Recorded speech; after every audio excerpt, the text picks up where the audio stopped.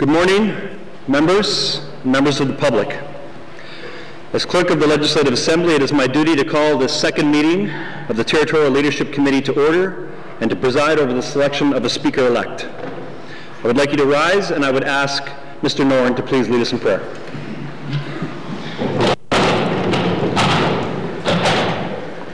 Thank you, Mr. Clerk.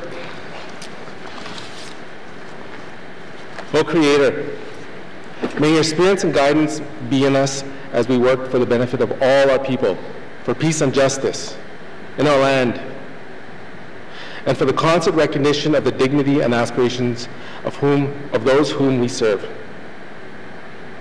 Merci, Joe.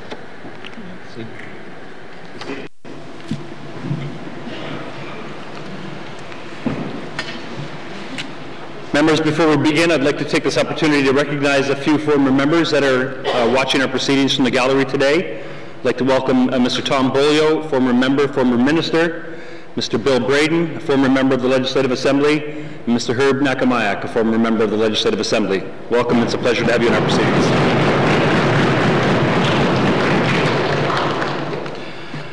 All members have a copy of the agenda in front of them. The next item on the agenda is the review and adoption of the agenda. Are there any additions or deletions from the floor? Seeing none, is the agenda adopted? Agreed? Thank you, members. This is the second meeting of the Territorial Leadership Commen- Committee for members of the 19th Legislative Assembly. In front of you, in addition to your agenda, are the guidelines and procedures for the selection of your speaker, premier, and members of the Executive Council, and these have been previously agreed upon and publicized. The process for the election of the Speaker will begin with self-nominations from the floor. In accordance with your agreed upon procedures, I will ask members to indicate whether they wish to allow their names to stand for the Speaker's position. Once members indicate their interest, each candidate will then be permitted to make a five-minute speech. The speeches will be made in alphabetical order by surname. Questions to the candidates will not be permitted, and voting will then commence by way of secret ballot. If only one nomination is received, that member uh, shall be acclaimed. Are all members of the committee in agreement with this process for the selection of speaker? Thank you, members.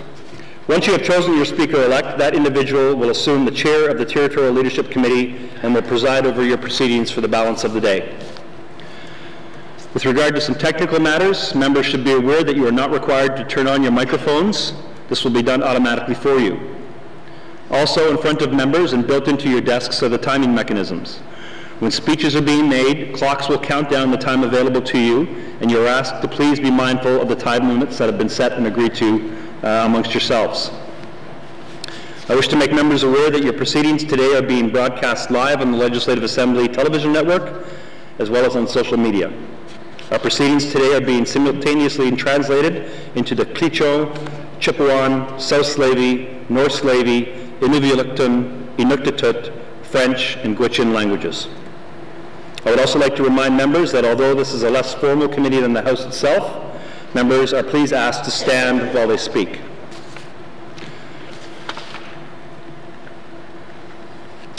I understand uh, Mr. Alfred Moses is also in the gallery, former member, former minister. Welcome, Mr. Moses.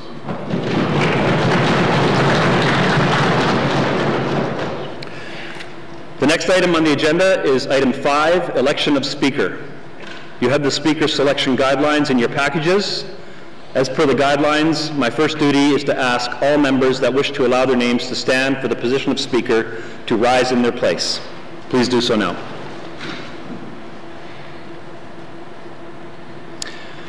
As Mr. Frederick Blake is the only nominee for the position of Speaker, it is my duty to advise you that Mr. Blake has been acclaimed to the position of Speaker-elect. Congratulations.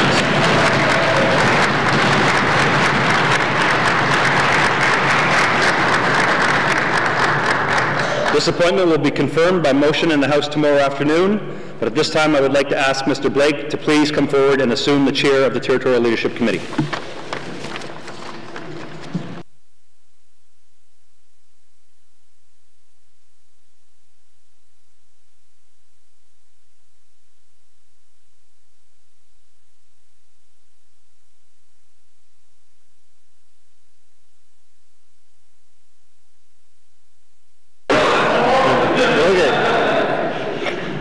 can tell I'm a little eager today.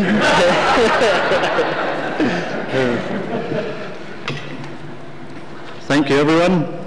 I would like to thank you all for the trust you have placed in me as your speaker-elect. I will have lot, a lot more to say tomorrow when the 19th Assembly officially opens. The next item on the agenda is the election of Premier. Our agreed upon procedures will see us call for members to ask one question to the previously nominated candidates. As we all know, the candidates for the Premier position are Caroline Cochrane, Jackson Lafferty, Frieda Martselos, and R.J. Simpson. Members are now permitted to ask a maximum of one question to be directed to all Premier candidates. Candidates will have two and a half minutes to answer each question. In the interest of time, I will be consistent in enforcing these timelines today. Members, the floor is now open for questions. Mr. Simpson.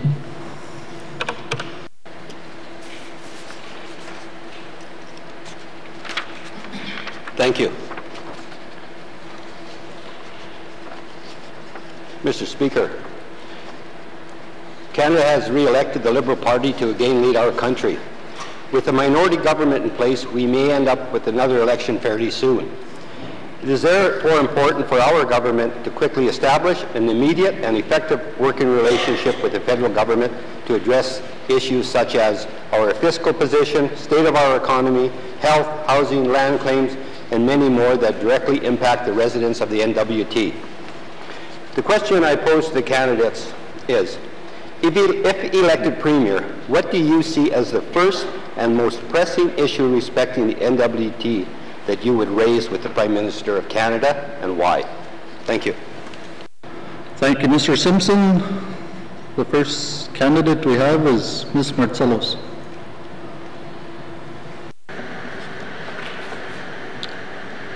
Thank you, uh, Mr. S Mr. Chair. Um, the most important thing that we would have to uh, uh, express our interest in would be the economy. Um, the economy of the Northwest Territories is uh, is at a crossroads, and I think that uh, the main uh, the main issue with the economy is extremely important. Uh, we know that we are in a, a, deficit of over $1 billion and addressing the whole ideas and uh, uh, I think that something has to be put forward to make sure that we address the whole thing with the economy. Thank you. Thank you, Ms. Martselos. Next, we have Mr. Lafferty. Merci. Mr. Mr. Speaker, congratulations. Um, part, part of the process should be that uh, whoever is elected as a premier and cabinet need to uh, uh, obviously meet with uh, the newly formed uh, Liberal government. Although they're a minority, uh, there, there, are a lot of moving targets in Ottawa. first and foremost, obviously, I agree with the economy as well. Um, those, those are areas that we need to have an informed discussion with uh, the federal government. We need to continue to push our existing infrastructure that's before the, the federal government. And we push as a territorial government over the years. And we have uh, mega projects uh, that's, uh, that's on the books right now and waiting to be approved. So we need to continue to push that forward because that will have a lasting positive impact in the Northwest Territories and at the same time uh, building a relationship that we have with the uh, federal government. The new pri prime minister and uh, also the, the cabinet to be uh, whoever that, will be, but at the same time we must have a, a strong working relations with our MP and also our senator uh, for Northwest Territories. We need to uh, utilize their services because they are gateways to Ottawa, opening doors for us. So let's build a, we have positive working relations with our current MP and newly, uh, again, re-elected. And we need to build a foundation even more going forward because we do have a lot of challenges, but the, But at the same time, I'm, I'm optimistic. There's great opportunities for Northwest Territories, and this is time. It's time that we move forward with the federal government because we need to form uh, positive working relations with, with them as well. Masi, Mr. Speaker. Thank you, Mr. Lafferty. Next, we have Ms. Colquitt. Thank you, Speaker-elect. Um, I agree with uh, the last two speakers that the economy in the Northwest Territories is a huge issue that we need to address. However, I must also state that we need to make sure that our priorities line up with the mandates of the Liberal government that is newly elected because it's strategic to make sure that we're asking for the same thing that can meet their goals. I think that as a, one of the beauties that we have is being a consensus government. So over the last four years as a minister, when I've met with uh, different federal ministers and in different jurisdictions, I have not made it an issue of putting my voice behind one party, and I think that's important. As a consensus government, we have to support all parties, especially in a minority government um, and relationships are critical. So we have a very strong member of parliament. We need to use that. Um, Michael McLeod has been for us for the last four years. He's a strong advocate for the Northwest Territories. We need to strengthen that. We have a strong relationship. We need to use that relationship. So we need to meet with the, the Liberal Party. We need to make sure that our priorities can fit within their priorities, and we need to move forward, not in an aggressive way, um, aggression is not the answer. I've learned that as I've aged in a collaborative way, working towards them, showing how if they benefit, if they support our uh, jurisdiction, the Northwest Territories, that it will actually further their priorities as well. Working together is the key. Thank you, Mr. Speaker-elect. Thank you, Ms. Cochrane. Next, we have Mr. Simpson, Jr. Thank you, Mr. Speaker-elect.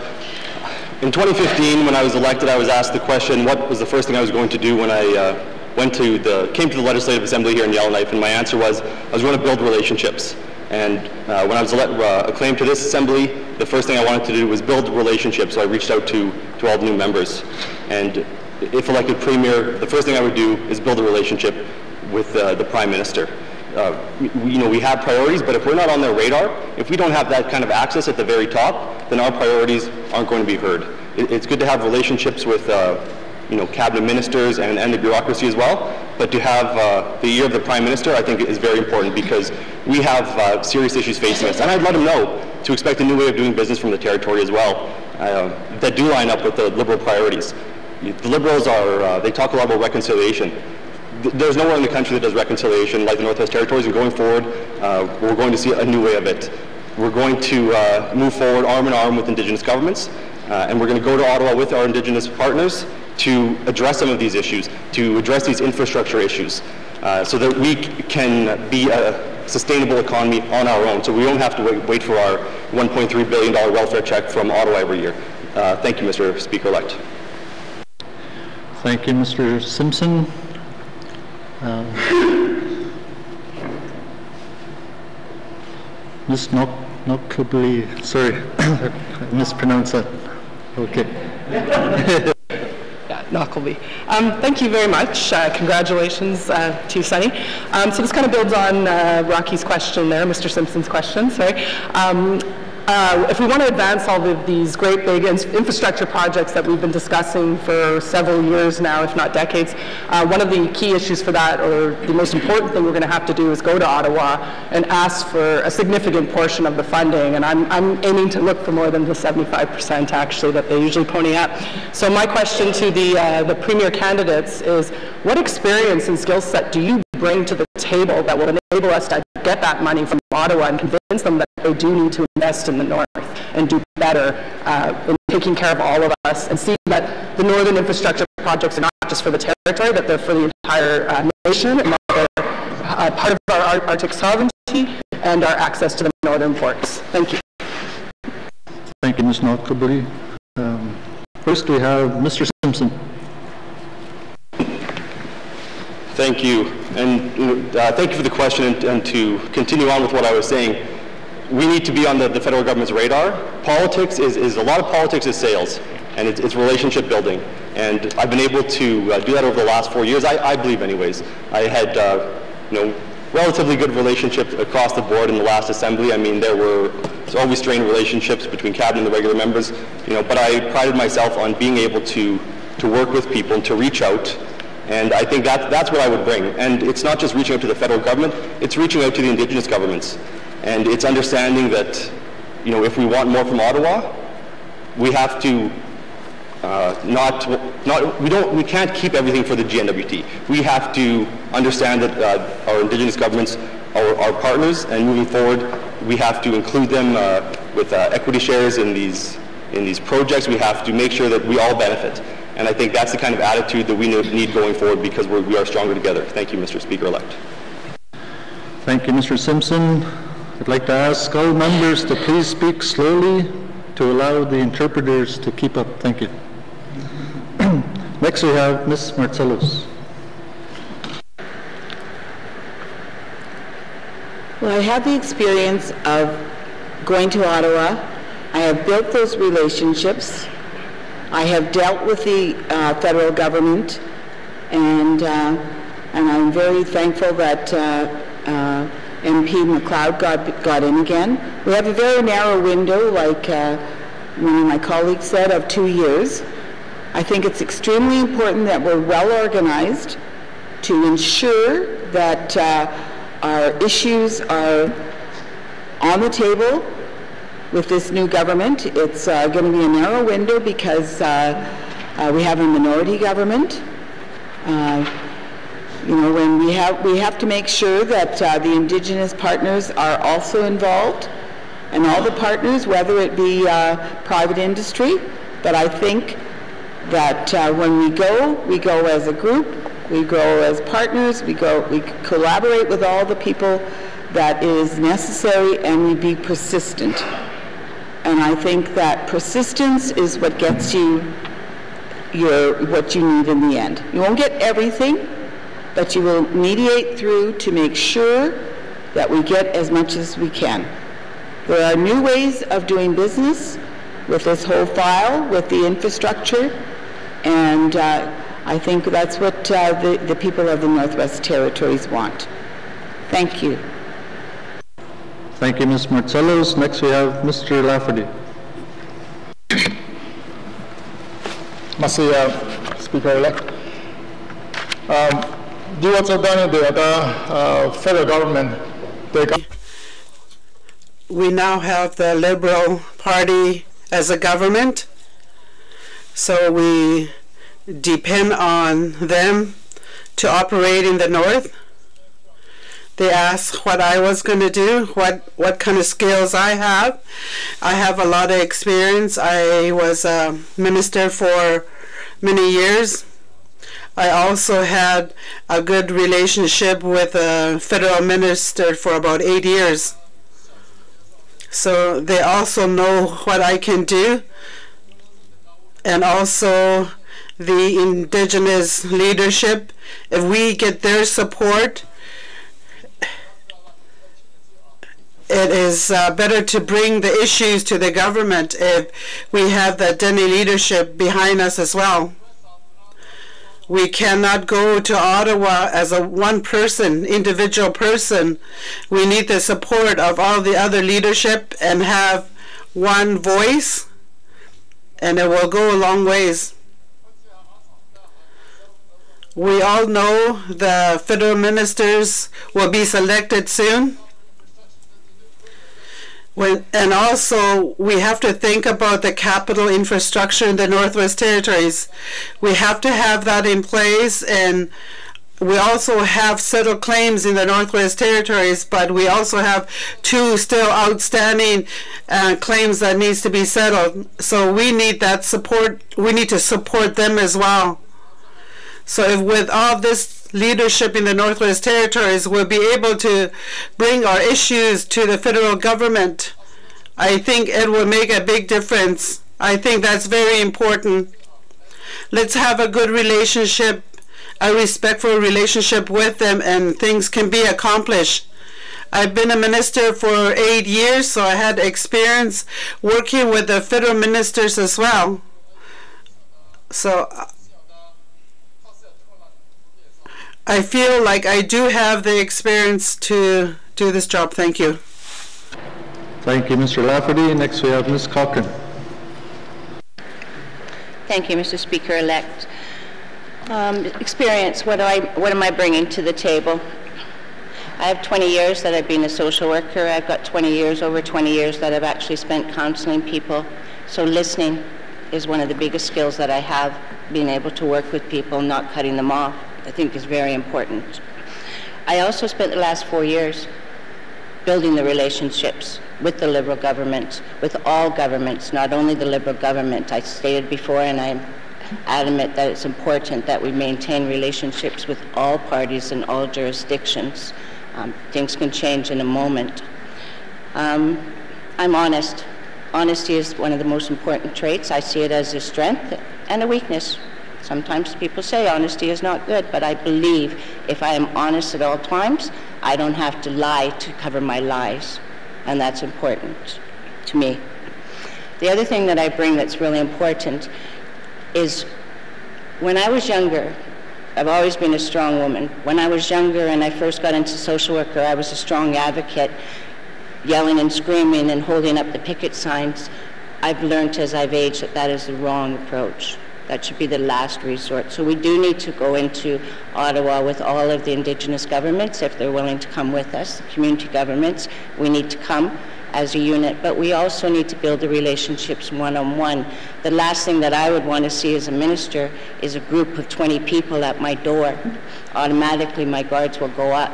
So it's important that we go, that the Premier go first and build a relationship, Premier to the Prime Minister, and build that first to make sure that they feel comfortable. Give them notice we're coming and make it a win-win situation, not a we're pushing our, our needs down your throat but this is how our needs will benefit Canada as a whole. And so those are things that I bring to the table, and those are the things that I've learned from my experience, my professional experience, and also my age. So thank you, Mr. Speaker-elect. Thank you, Ms. Cochrane. Next we have Mr. Simpson. He already went. Next question. I was already going ahead here. Sorry. Any further questions? Mr. O'Reilly. Merci, Monsieur le Président. Congratulations, uh, Mr. Speaker-elect. Um, I'd like to know from each of the candidates what they believe the environmental priorities should be for the 19th Assembly and how those priorities would stack up against other priorities. Merci, Mr. Speaker. Just putting up their hands. Thank you, Mr. O'Reilly. Now uh, we have Ms. Cochrane. Thank you, Mr. Speaker. The environmental priorities that we have for, for the government in the Northwest Territory should not only be our priorities, they need to be international priorities. Climate change is real and it's impacting our communities, impacting the Northwest Territories more than many other jurisdictions in the world. We see that we've had members talk about it already in the short time we've been in the House. We've seen it in the last session. So during my speech as to be Premier, I had stated that anything that we do from moving forward has to have climate change always at, been looking at that and, and uh, realizing that we do need infrastructure, we need a strong economy, but we also need to be as environmentally conscious as possible within that. We need to be part of the solution in battling climate change. Our youth are screaming at us. Our youth are begging us, crying in the media to save their future. We have an obligation to do that. So climate change, the realities, the, the environment has to always be hand in hand with any decision we make moving forward. Thank you, Mr. Speaker-elect. Thank you, Ms. Cochrane. Next we have Mr. Simpson. Thank you, Mr. Speaker-elect. Obviously, climate change is a, is a global crisis and uh, everyone is concerned about it. Uh, we feel the effects more than others we need to, uh, th this is one area where because we feel the effects and because of the high cost, the GNWT has actually done quite a bit over the last uh, number of years to reduce our greenhouse gas emissions, but of course we always have to do more. And going forward, we have to consider climate impacts in all of our decisions, in all of our uh, infrastructure and our policy decisions as well. Even service delivery uh, could have implications.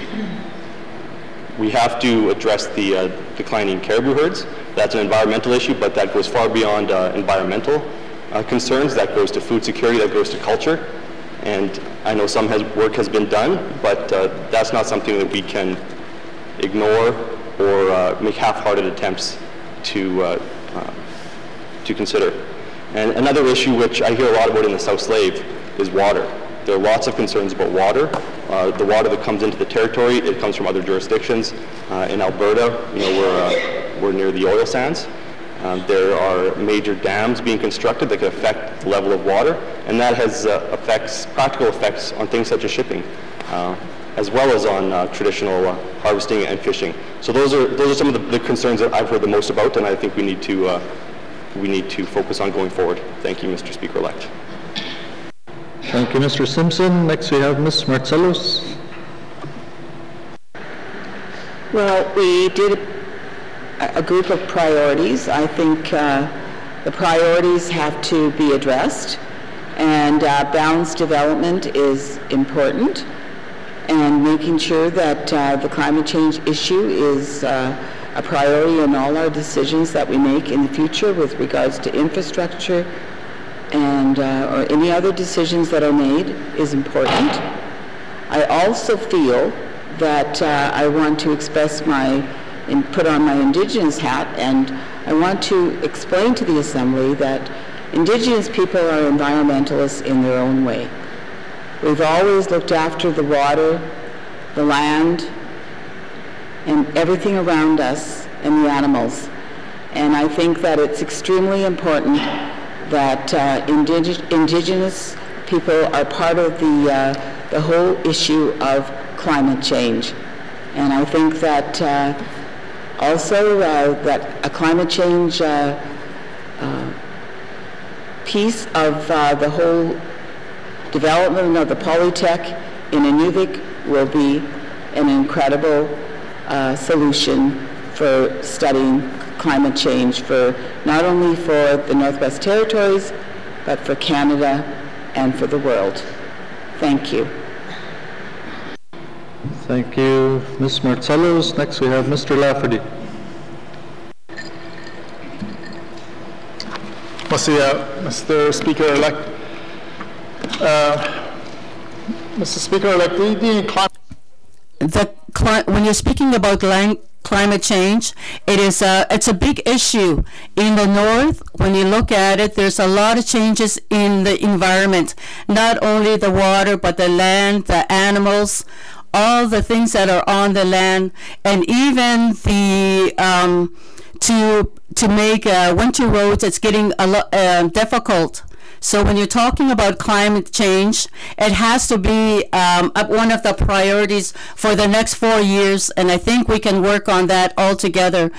Um, and we've talked about it in for the last uh, four years, so um, I know a lot of people here that are, are want to work on it for the next four years. We have to also listen to the people in order to work on the climate change. We have to also include the young people and also the and also the elders who are almost like our doctors. Um, the so we have to take all the information from the elders, and the elders have to also work with the young uh, people on this climate change. They are almost like our scientists. They're scientists all within the ca uh, Canada, but they are, they are our scientists We're in the north, and we have to put them ahead with the climate change issue. Even in the 50 to 100 years from now, we will see the results of their work. So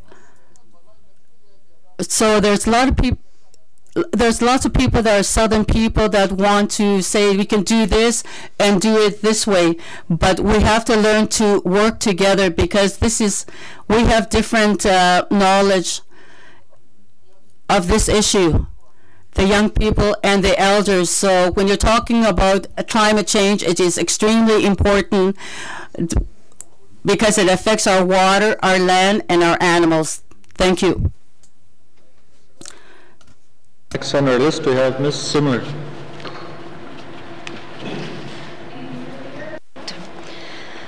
Um, as we have heard loud and clear this past um, couple weeks, uh, that the Indigenous governments do not have any trust in our government. Can you tell me why you would be the best person that should represent us in building this relationship? Thank you. Thank you, Ms. Semmler. First on our list, we have Mr. Lafferty. Merci, uh, Mr. Speaker-elect. Speaker-elect, uh,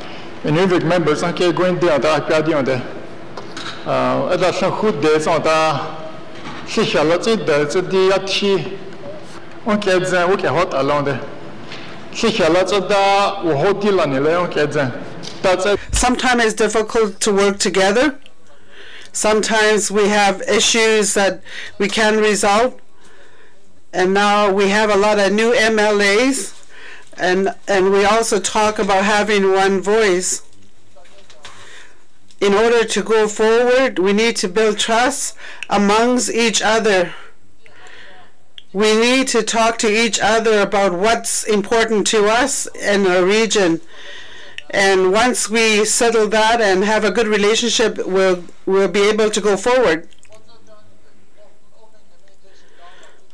So, so we need to keep an open uh, communication with each other so that everyone knows what everyone else is doing. And also, Northwest Territories, we need to communicate with the Dene leadership and the mayors of the Northwest Territories because they are they have the grassroots information in the region sometimes uh, if we don't know this information, we're not able to resolve uh, the issues uh, at our table. I believe that working together and having trust amongst each other is very important. And when I look at the past leadership, we didn't have that in place. And everyone knows here I've said this to the eight member, 18 members here. We talked about our priorities and how we can work together. In order to do that, we all need to work together. And I'd like to thank every one of the MLAs and also the leadership that's here as well. I'd like to thank them. Ms. Cochrane?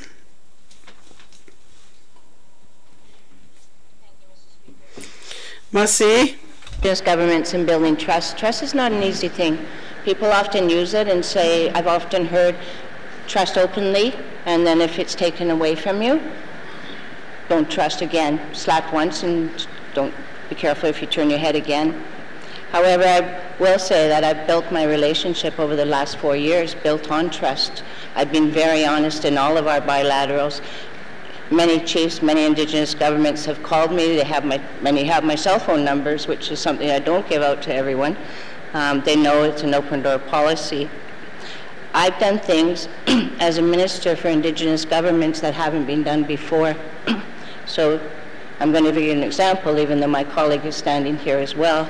Salt River, never before was there a housing unit put in that community. Never before. As a minister, I said fairness to all. I was the first minister to bring housing units into Salt River.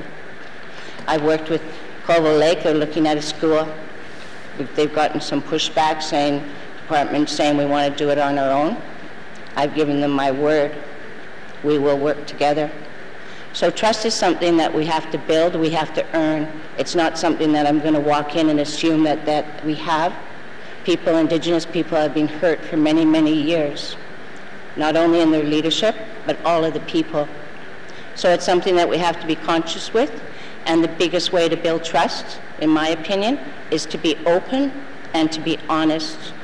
I'm not going to promise things I cannot deliver because if I do that once, I have lost that trust. So I'm honest to, is my strength and my weakness, and I think that most of the indigenous governments know me by now. And they know it, my word is my honor, and that's the most important thing that I can bring. Thank you, Mr. Speaker-elect. Thank you, Ms. Cochrane. Next, we have Mr. Simpson. Thank you, Mr. Speaker-elect. When we met with the Indigenous leaders from around the territory uh, last week, two weeks ago, I can't, it's been a whirlwind, I can't really recall when it was, it was recently though, there was a strong desire, everyone who spoke had a strong desire to improve relationships with the GNWT. Uh, it was clear that everyone had been frustrated in the past, but everyone saw this as an opportunity to move forward, and we need to capitalize on that. We need to listen and understand why there is that lack of trust. Not make assumptions, actually listen. And we have to address those issues. And like I said in, in my previous speech about uh, accountability, you know, I can say I'm going to do a better job and I'm going to be more trustworthy and I'm going to um, listen more, but what about when I'm gone? So what we need to do is put some procedures in place, the same way that the cabinet and uh, the regular members have uh, communications protocols. We need that, those type of things in place for Indigenous governments. Because I've heard the frustration that there'll be a meeting and then there's no follow-up for months, maybe for years. Four years is the last one I heard where there was an issue that had just been unaddressed. So every time the government comes back to the table, the Indigenous government has to bring this issue back up again. And that's not acceptable. So it's, it's those kind of things that we need to put in place so that no matter who's in the office, we can maintain a level of trust. Thank you, Mr. Speaker-elect. Thank you, Mr. Simpson. Next we have Ms. Martselos. Thank you, Mr. Speaker. Being in that leadership since 2007, an Indigenous leader, and sitting around that table and listening to the Indigenous leaders on October the 17th uh, was uh, quite an experience sitting on the other side because uh, I've lived that.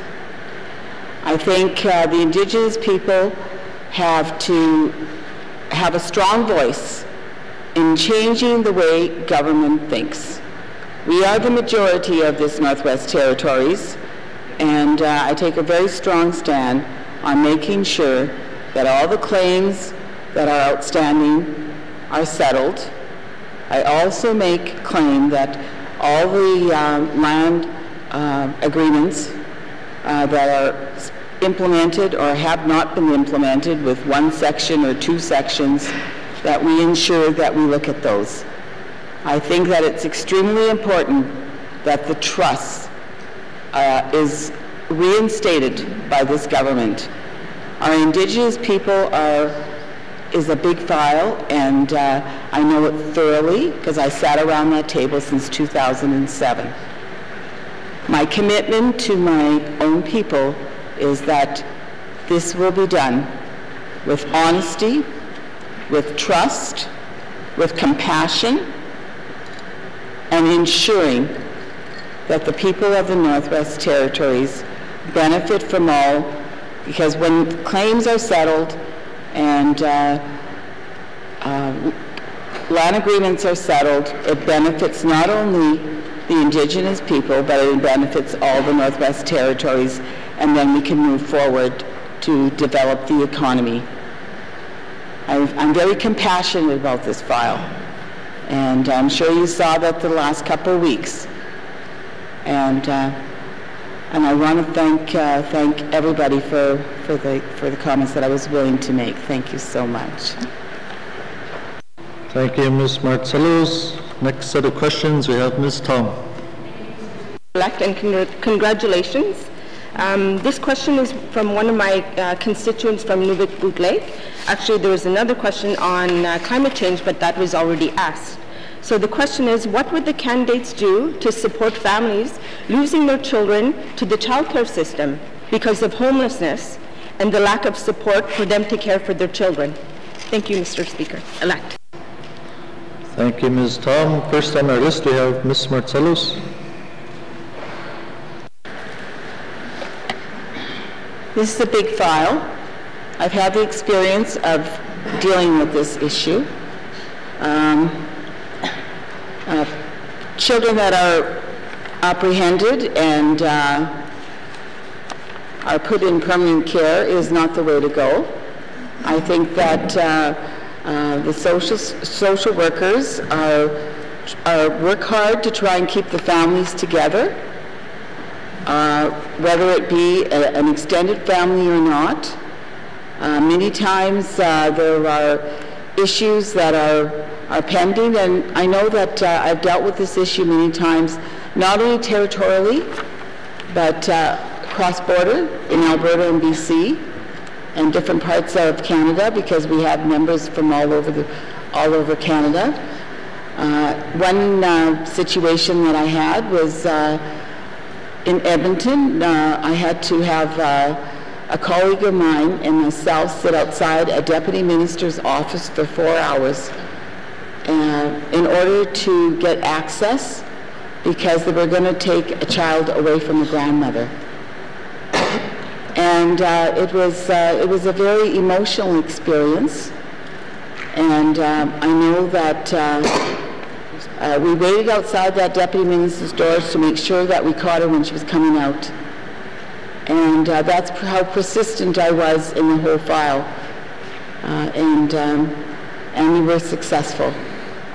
I think that children are extremely important, and the start of their lifespan and making sure that we don't uh, use the wheel to reinvent any uh, residential school issues. Uh, we have to look after the child at a young age and try to keep them with the family and unite them with the family, whether it be extended family or stay with family. Thank you. Thank you, Ms. Martselos. Next we have Mr. Lafferty.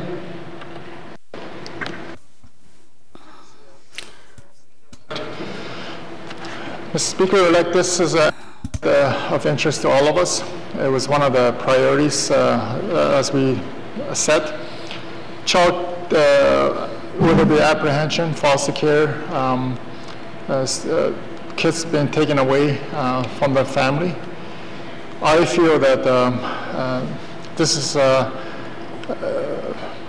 as a government, as we move forward, we need to promote more of uh, awareness of uh, what kind of uh, programs do we have, aftercare programs, or even um, um, homes that they, they need to go to. It should be, one of our first priorities should be families uh, in the communities. Uh, if, if, there's not much available in the community, then uh, at least in the region. So they don't lose their language or our, our cultural way of life. We've heard over and over from our elders, from our parents from across the Northwest Territories, that their kids are taken away even in my region. Some of the kids have been taken away for the last 10 to 15 years, and um, some have lost their language as well. So we need to take that back and um, deal, deal with it at the, as part of our priority setting. Uh, we've talked about it, and I think it's very important that we deal with this um, uh, first and foremost.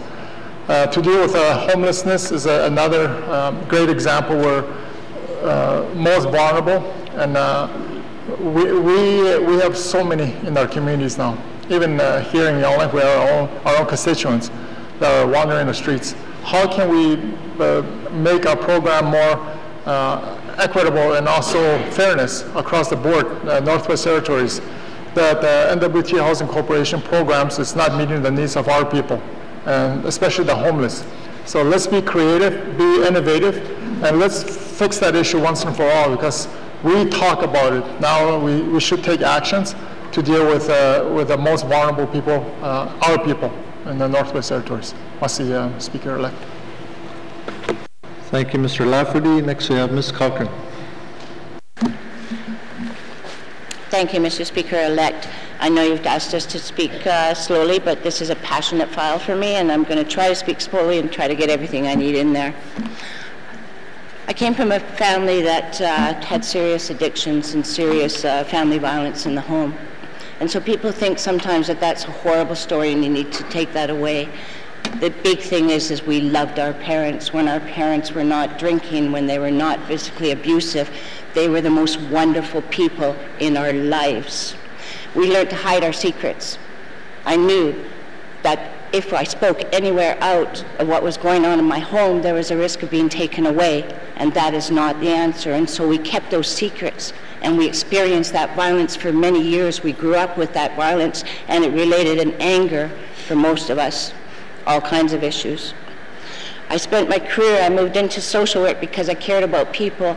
Before I came into politics, every AGM at Health and Social Services, I was at their meetings and saying, what are you doing with these children? What are you doing with these children? Why are the numbers not going down? Why are they all indigenous? What's going on? I had my own children and I struggled through that. I didn't know because of my bringing up. I didn't know how to bathe my children. I didn't know how to feed my children. I loved my children and I needed help.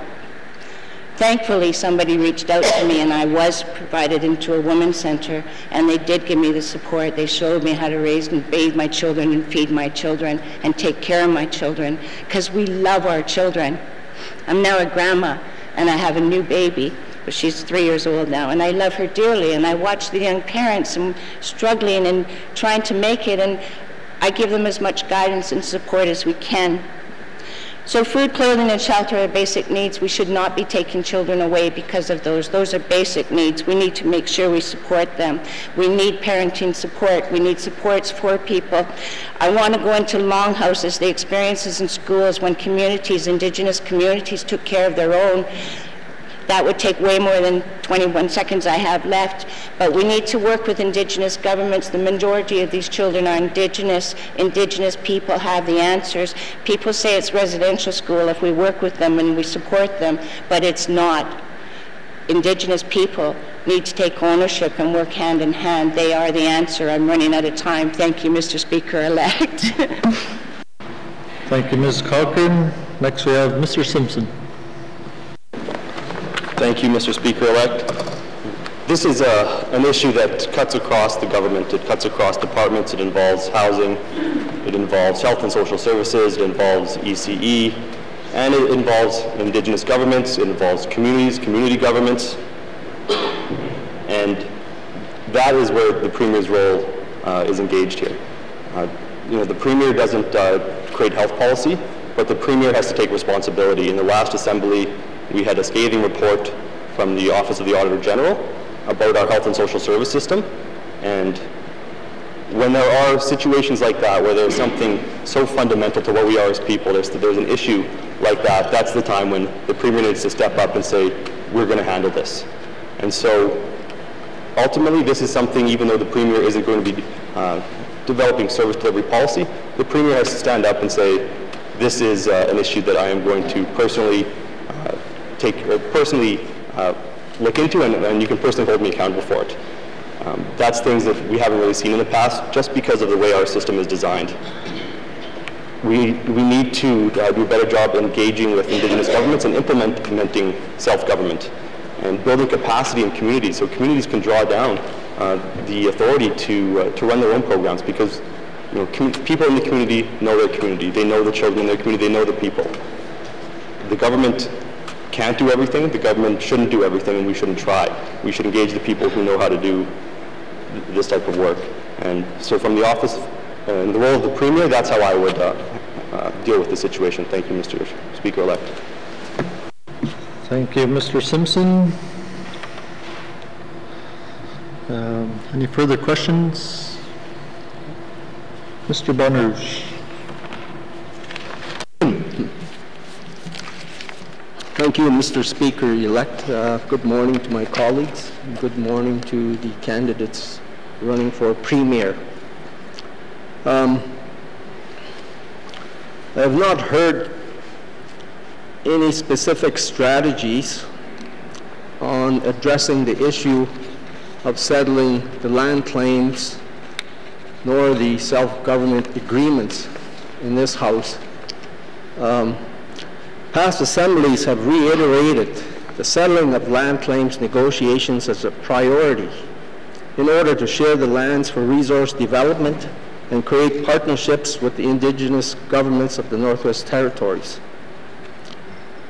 A statement was made at the 18th Legislative Assembly stating they would create an oversight committee made up of cabinet members and regular MLAs to give direction to the negotiating team in order to settle any and all outstanding land claim negotiations.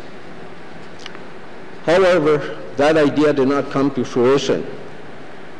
I truly believe creating the Oversight Committee ensures this government is serious in settling all land claims and self-government agreements. If elected Premier, what will be your strategy to see negotiations finalized for the outstanding claims? Merci. Thank you, Mr. Bonnetrouge. Next, first on our list, we have Mr. Simpson. Thank you, Mr. Chair. I was a member of that, uh, the committee, the Joint Advisory Committee on Aboriginal Relations, I believe it was called. Uh, and, and frankly, it was more of a, a, place where we would go and get briefings from the government about what was going on. It wasn't really a, a place to, to, uh, to give advice on these issues. And that sort of exemplifies the type of changes I would like to see going forward, uh, where we take advantage of all of the skill sets uh, that we have here in this assembly, and we move forward uh, making informed decisions. Uh, do I have a specific ways that, that I would advance these claims? There, there's a lot going on. There's a lot of different tables, and uh, I, I, can't say that there's a specific uh, offer that I would make, but there's definitely a different approach that you can take. Right now, the approach is the GNWT and Canada make an offer to Indigenous governments, and it's, it's sort of a take it or leave it. There doesn't seem to be that back and forth. Um, and that authoritative way of dictating uh, negotiations is what needs to change. And we heard from the Indigenous governments that uh, they, they want to move forward as well. And everyone says the GNWT is what's standing in the way. So what we need is a willingness to change that. And like I've said before, nothing should be off the table. If it's a whole new way of doing business, if it's new people, then those are the things we have to do. But the, the reason I got into government, or rather into politics, is because I was tired of people talking and nothing seemingly changing. And I've come to realize over the past four years that it, it's not enough to just sort of inch along here and uh, slight, do things slightly differently. Sometimes a big change is needed, and I think to settle some of these claims that have been going on for decades, a big change is needed, and I'm willing to do that. Thank you, Mr. Speaker-elect. Thank you, Mr. Simpson. Next we have Ms. Cochrane. Thank you, Mr. Speaker. I used the statement win-win before when we talked about going to the federal government, but we also need to carry that forward when we're dealing with our indigenous governments. It has to be a win-win situation here. It can't be top-down. It can't be the GNWT making the direction. It certainly can't be the, the federal government making the, the uh, direction. So we need to first of all build that trust that we've talked about because the indigenous governments don't have as much trust in us that we need to have. We need to bring things to the table. We need to be willing to put what we have out there. Not I'll give you a little bit and hope you don't ask for too much. Let's just be honest and put it out there and say this is what we have to offer. The biggest thing we need to do is we need to change. I keep hearing it's GNWT in Canada against the Indigenous governments. That's not what I want to hear. We need to start hearing and practicing that it's the GNWT is advocating for the Indigenous governments with when we talk about Ottawa. We all live in this land together by fostering our relationships, by moving Indigenous governments into their own self-government. We will all become strong as a people. We say that all the time. So why don't we act on it? If we believe that, then that's how we should be walking. So I think the most important thing that we need to do is actually sit down at the table, more meetings, regular meetings, build that trust with them, put out what we have to offer on the table, and then we need to work together in advocating Canada. It can no longer be Canada directing the GNWT enforcing an Indigenous people trying to get the crumbs on the bottom. It has to start with the Indigenous governments telling us what they want, the GNWT be willing to work with them in a win-win situation, and then all of us advocating to the federal government. So I want to turn it around. Thank you, Mr. Speaker-elect. Thank you, Ms. Cochrane. Next we have Ms. Martselos. Well, having this file since 2007, and we we, we, every year at our annual meetings, we'd hear the same thing. The, la- the claims are, are unsettled, and I'm very happy to say that it is one of our priorities. The things that I've been hearing from the from the leaders of the indigenous community is that they would like to have a negotiator that understands the claims. All the outstanding claims and the self-government agreements, and some of these self-government agreements, there's two clauses that are not being looked at. Some of them have one clause that is extremely important to their, their development. I will ensure that uh, they have a person on each claim that are familiar with the claim that is Indigenous for the government of the Northwest Territories so that we stop being obstacles to ensuring that those claims are supported, not only with our own government, but are supported to ensure that we get the best deal from the federal government for the Indigenous people of the Northwest Territories. Thank you. Thank you, Ms. Martselos. Next we have Mr. Lafferty. Masia, Mr. Uh, Speaker-elect. Speaker-elect, this is uh, again one of the first uh, and foremost priority that we've discussed around the table, and um, all 19 of us uh, around this, uh, this building support settling the, the two outstanding claims. And um, we, as we stand here, we need to take the lead. We need to make that happen. Enough of this talk, let's put that into action. And member um, uh, is asking what are the steps to be taken. And uh, one of the steps to be taken is uh, go outside this building, meet with uh, official, uh, elected officials, face to face, without any staff there. Because uh, we're supposed to be giving direction to our staff to start discussion and implementation of such claim uh, to finalize. So those are discussions that we, we need to have, put everything on table, and um, have a, constant dialogue. We need to have open communication with our Aboriginal leadership. And we've, we've heard from uh, last week from uh, NWT Indigenous government leaders that that's not the case. Uh, they hardly rarely see, rarely see uh, uh, government leaders or, or cabinet ministers. So we, we have to improve in those areas working relations is, uh, is very crucial at this point in order to finalize the two claimant groups. And uh, it's time that we start listening to our indigenous leaders across the north. They've told us to, to finalize it, we need to start listening to them. And um, one of the elders' vision, obviously, is uh, uh, be united as one. All 19 of us here with our indigenous leaders. We need to have one voice going to federal government. And they obviously will be behind us, standing behind us, supporting us.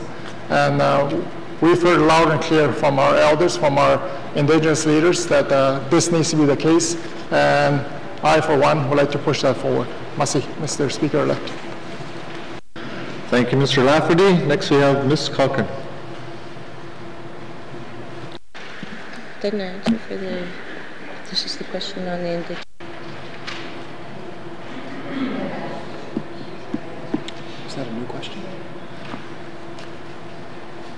Oh, okay, sorry. Getting ahead of myself here.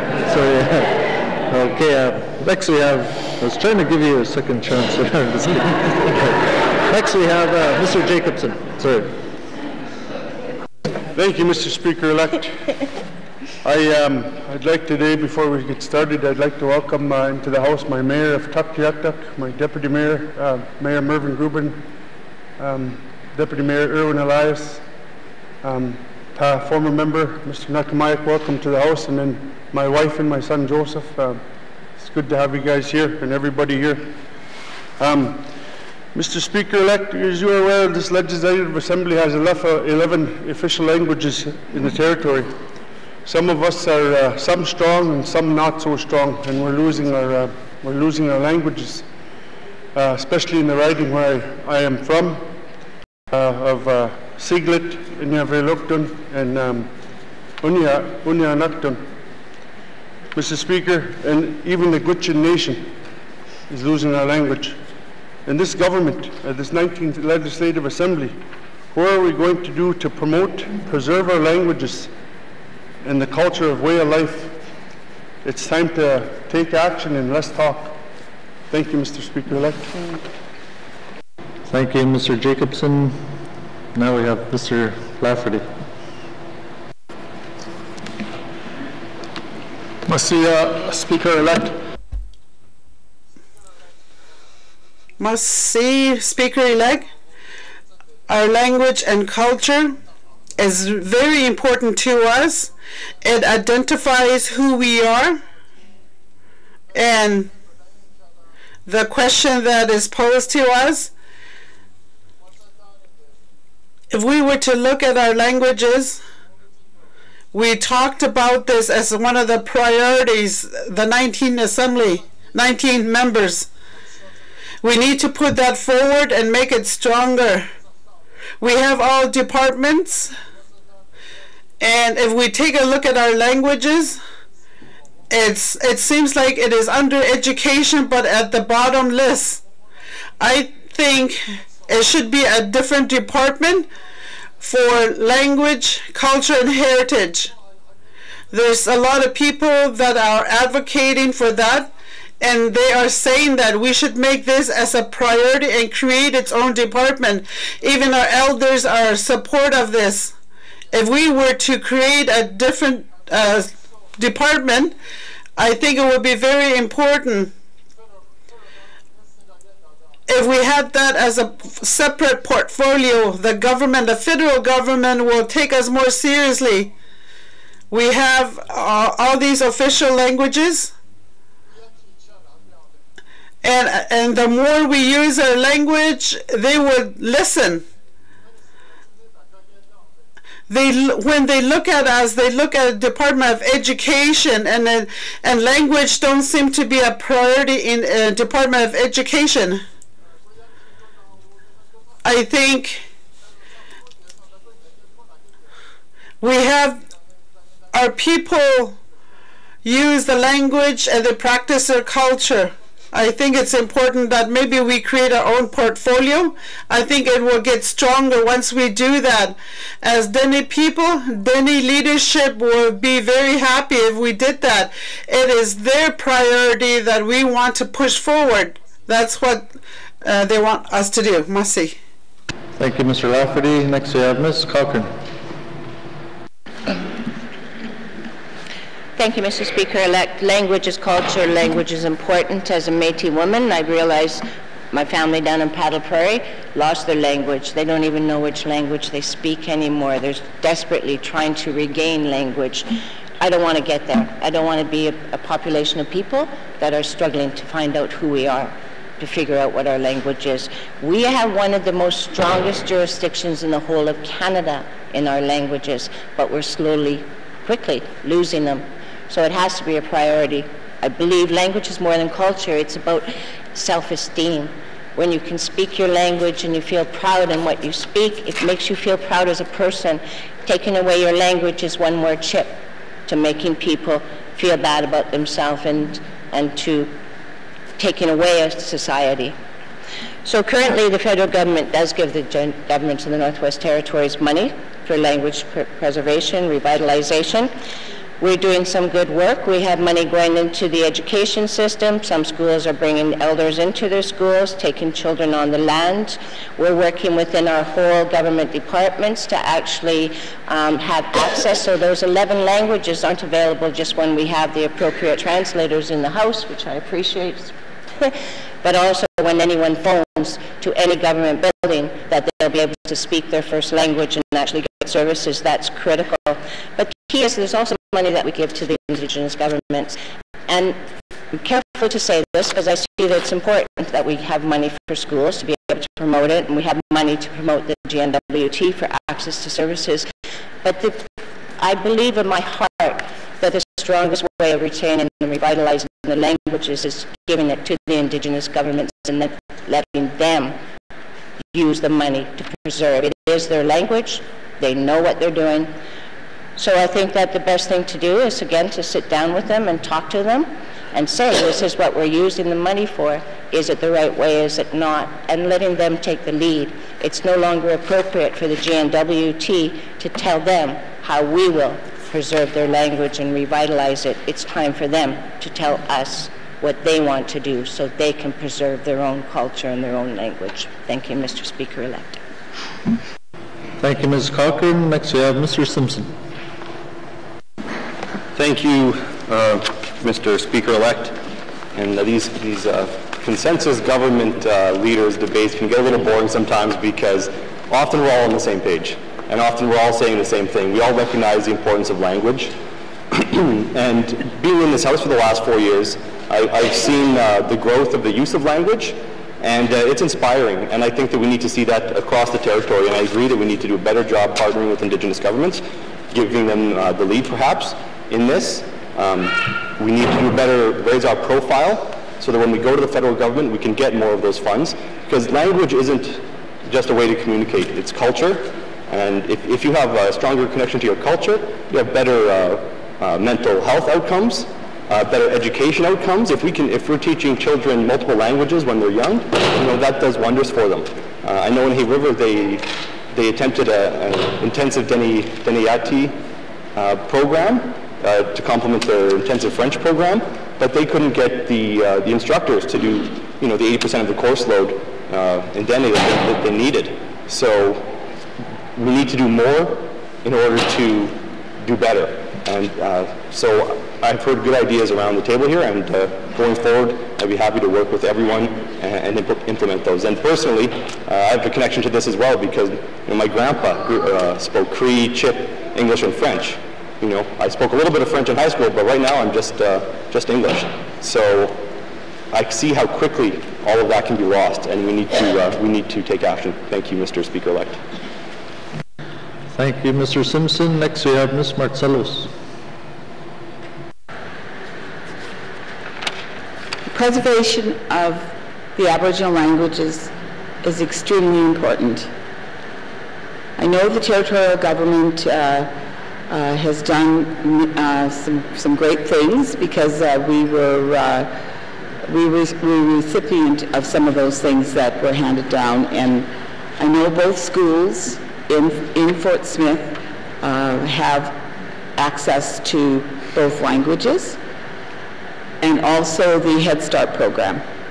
We teach uh, some parts of that with the, the Aboriginal language. I, I think it's extremely important, though, that uh, that we do more than that. And my uh, idea of the Polytech Technical University slash University of the North, I think that uh, there should be different sections to that.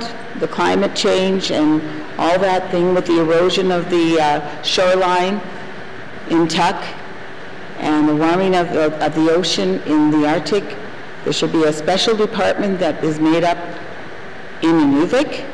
In Yellowknife, I feel that uh, uh, because we have the hospital here, that the medical center should be situated here. We should be training our nurses. We should be training our technicians. We should be training our x-ray technicians. That should be our medical center. The one in Fort Smith should be the, the place where a lot of the Aboriginal languages uh, are studied, and uh, I feel that, uh, and the holistic approach to medicine could be in, in that place also. Uh, the more cultural area uh, for our people of the North, and um, so that we preserve the, the uh, languages. I have uh, lost my language because uh, my father spoke Chipewyan, both my mother and my father, but they did not teach it to, to any of us because they, it was a barrier to do well in school in those days. And that was, uh, so I graduated without uh, learning to speak my language. And uh, you know, it's, uh, I'm sure it's a regret today, but my parents both passed away, and I, but I know it's an extremely important part. The more languages you speak, the better it is. Thank you. Thank you, Ms. Martselos. Next, we have Ms. Cleveland. Thank you, Mr. Speaker, and congratulations on your new position. I'd also like to thank Premier Joe Hanley for joining us and thank him for his service. Um, and I've just lost my question. there we go. Um, thank you to all of um, our colleagues who have put their names forward for Premier. Uh, my question today is, given the stressors caused by the last round of collective bargaining for public servants and the territory as a whole, and given our ongoing economic challenges, as Premier, what will you do to ensure a successful round of upcoming negotiations? Thank you, Mr. Speaker. Thank you, Ms. Cleveland. First on our list, we have Ms. Martselos. That's a great question. You know, uh, I'm very labor friendly. I've always been very labor friendly because it's the people all through the ladder that uh, do the work to ensure that uh, the Northwest Territories moves forward. And uh, I will listen. I will ensure that uh, good decisions are made for both the government and for labor.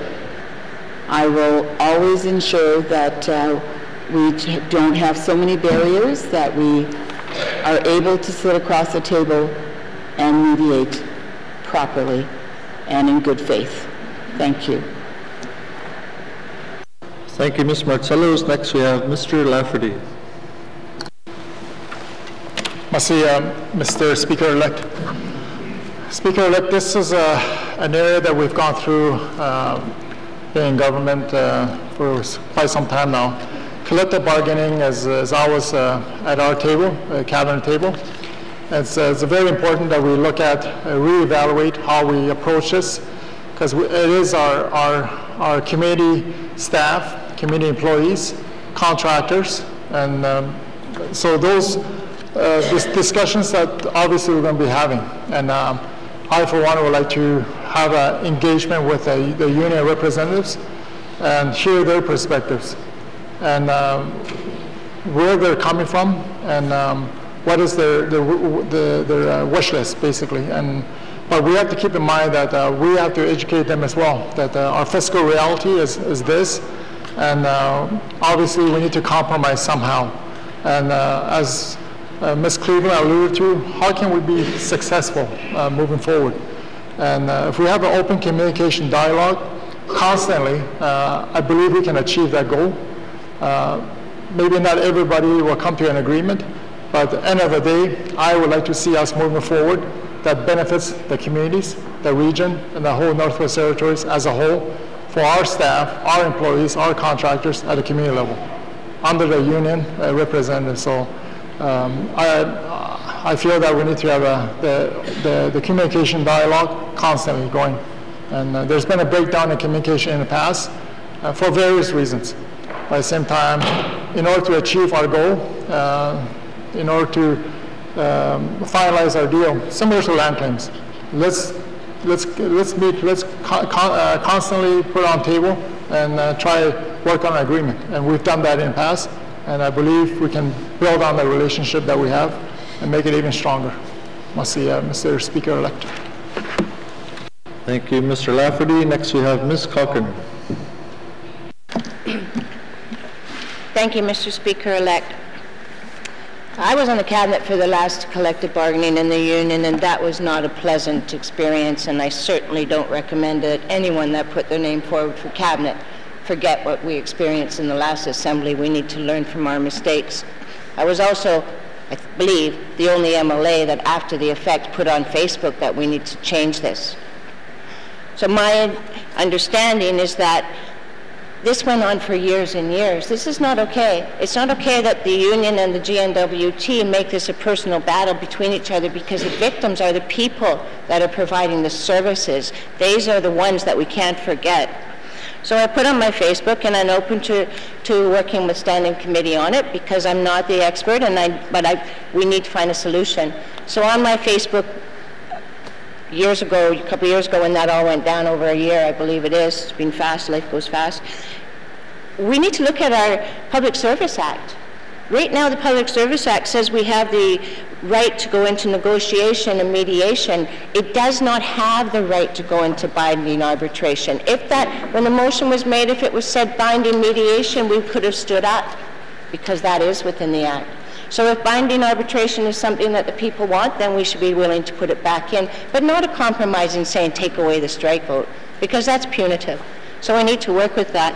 I also believe in the Public Service Act that we need to have timelines. And again, I'm open to feedback on that because I'm not the expert on this, but it's not okay what we're doing. Let's put a timeline. People should not have to wait years and years to get through each process. There should be a timeline. Negotiation is this long maximum, and then it moves to the next step. That long maximum moves to the next step. And I don't usually like to be punitive, but maybe we need to look at consequences if the union and the GNWT do not meet those timelines and do not do that. So we need to start in good faith and move forward, but we can't forget that this is people's lives. I got calls during that time and it broke my heart of people crying and saying, if I don't have a paycheck, I can't feed my children. And that stays with me forever. This is not, should not be an adversarial process. We need to work. We need to make it better, and it cannot be lip service. We need to look at our act and figure out how we can strengthen it so we have the best interests of our employees always. Thank you, Mr. Speaker-elect. Thank you, Ms. Cochrane. Next we have Mr. Simpson. Thank you. Thank you, Mr. Speaker-elect. The, the thing we need to do, I believe, is improve our relationship uh, you know, as, uh, as the elected members with the public service. We need to show respect to the public service and we need to listen to their concerns so they don't get dealt with during contract negotiations. That's the worst time to try and deal with everyday concerns. That's why I talk about things like having some sort of a feedback loop where these frontline concerns that people are talking about for years on end actually get dealt with. A, a lot of times the, the complaints are things related to, to, to, mental health. You know, we, we heard talk about that in the, in the contract negotiations. Well, if, you, if you're listening to people and you're improving the situation on an ongoing basis, those don't become concerns. We need to worry, we need to do a better job with uh, the timing of these meetings. I thought that I was I thought that I was an idiot because I would look at these, these uh, meeting schedules and see months in between them, and I thought, oh, I guess that's how negotiations go. You know, that doesn't make any sense to me, but these guys must know what they're doing. No, you need to, you can't wait six months between meetings. You need to be at the table and hammer something out. You need to, and I know there are practical issues, but we got to get over that. You know, we almost had a, a strike here. There were businesses around the territory that were hurting. There were people who were you know, didn't go travel to see their families because they didn't know if they were going to be able to afford it. These are real life issues. And the other thing we need to do is have better communications amongst ourselves uh, during negotiations because as a regular member in the last assembly, I didn't know what was going on until basically the 11th hour. We got uh, a briefing, maybe two briefings during that entire time. And again, we need to be able to, or the regular members need to be able to provide feedback and, and, sh and show the public service that, you know, as the, the, elected members, we are all concerned about this issue. So those are some of the changes that need to happen because uh, not only does no one want that to happen again, we can't have that happen again. Thank you, Mr. Chair, Mr. Speaker-elect. Thank you, Mr. Simpson. Next on our questions, we have Mr. Norn. Thank you, Mr. Speaker, uh, Speaker-elect, on uh, being declaimed again. uh, I just wanted to start up by recognizing someone in the gallery, uh, Mr. Tom Beaulieu, um, who's, uh, who's in my seat here for, uh, for several years. Um, many, many years in the public service, uh, housing, uh, as a minister and as a regular member. And on behalf of uh, Tu Nedhe, I want to say a big masicho for your service. Um, want to start off just making a quick comment and uh, just to make sure that uh, my question is fairly simple, I'll give you some context. Um, uh, I've spoken uh, with a lot of um, my constituents about their interactions with the government. And one common theme I seem to hear is, oh, you know, um, We always seem to run into barriers, we always seem to run into red tape. There's always these obstacles. And what I mean by that is if you're a small business, there's something going on with the BIP policy. If you're um, a struggling single mom that wants to get into housing, you have some policy that is blocking your way to get into a home. Or if you're uh, an applicant, job applicant has been has earned their way, worked really hard to get an education, and still can't get a job within our government ranks. Affirmative action. And early on here, we have some discussions about our policy and policy restructuring. Um, so my question to the um, premier candidates is, of these three policies I mentioned, BIP, um, affirmative action, and housing policies, what do you feel needs immediate attention in this 19th Assembly? Vice Thank you, Mr. Norn. First we have Mr. Simpson. Thank you, uh, Mr. Speaker. Like, I didn't quite catch the end of it, uh, but I think it's my comments on these policies and what needs to be changed, basically. And the member is, is correct. There's, there's a lot of red tape, and one of my biggest concerns with uh, service delivery is, is the service delivery. There seems to be a default to no. Uh, the, when there's an issue and someone needs help, the default answer is no, when it should be, how can we help?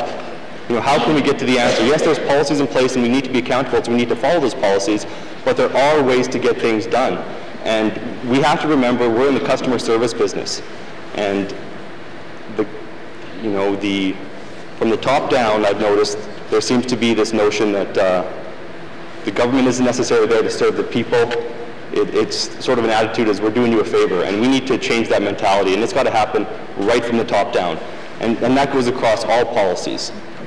You know, and, and we, so we have housing policies. Um, sometimes people can't get into houses because there's just not enough houses. You know, in Hay River, we just don't have places to put people right now. But if that, so that's one barrier, and that one I understand. But if it's, if it's something where everyone who's looking at the situation says, this doesn't make sense, there should be a way to rectify that situation. We shouldn't just say, nope, that's what the policy says, and then move on. And that goes for everything. In the affirm I mean, I have a minute here to talk about affirmative action and the business incentive policy, and I'm not going to be able to, to, to touch on them basically the way that they need to be, but it's been acknowledged that those policies need to be looked at. We need to make sure that they're serving their purpose. And for a long time, according to a lot of people, they haven't been. And uh, it's been clear from what I've heard in the public and from the members here that we need to, to re-examine those. And, you know, my, if I'm the Premier, I will do what I can in that role to ensure that not just those policies are looked at, but policies across the territory have a focus on service delivery and customer service. And that's, that's one of the reasons that I'm actually running is because that, the Premier's position is the one who you know, gives the mandate uh, letters to the, the, deputy ministers and to the ministers. And mandating uh, better customer service is something that the Premier can do, and, that, and that's my plan. Thank you, Mr. Speaker-elect. Thank you, Mr. Simpson. Next we have Ms. Martselos. I think all three, uh, three policies are extremely important. Um, the whole BIP prep policy, we have to ensure that our local and our northern uh, contractors are uh, addressed because uh, we've heard many times that uh, a lot of the monies are flowing out of the NWT and we cannot let this happen if we want to build an economy that we are going to ensure that the money stays here. So uh, that is an extremely important policy. Uh, the housing uh, policy is also uh, uh, we know there's shortage of housing, and we uh, it is uh, one of our priorities that we looked at. And uh, as uh, as premier, I would make sure that uh, we ensure that we rebuild on those policies to make sure that we address all the issues the Indigenous governments have come forward with that to us about, because it's mostly the it affects mostly the Indigenous population and the population as a whole, the low-income people. And the affirmative action policy, uh, I think uh, we have to review the way it is uh, uh being uh, implemented. because uh, I've heard also many times lots of complaints about uh, the way the affirmative action policy has been implemented, and uh, sometimes the implementation is not uh, not the way it should be, and uh, we have to be more open and transparent uh, and accountable of how we hire our own people, all the North. The people that lived here and uh, work here, and we must address that issue very, so, uh, very carefully. Um, and uh, I would take a strong stand on any policy that is not addressing the issues of the indigenous governments and the people of the North, all the people of the Northwest Territories. Thank you. Thank you, Ms. Martselos. Next we have Mr. Lafferty. Uh, Mr. Speaker-elect. Uh, the interaction with the GNWT as a government and um, indigenous leaders is very crucial that, that we hear from them. And um, we've heard clearly just last week, uh, NWT indigenous leaders, these three areas they've raised over and over. They want us to do something about it. In the past, obviously, this has been a, a barrier, an obstacle for community members, contractors, business, and um, it hasn't really benefited our communities. The, the bid process, obviously, uh, is a challenge right now.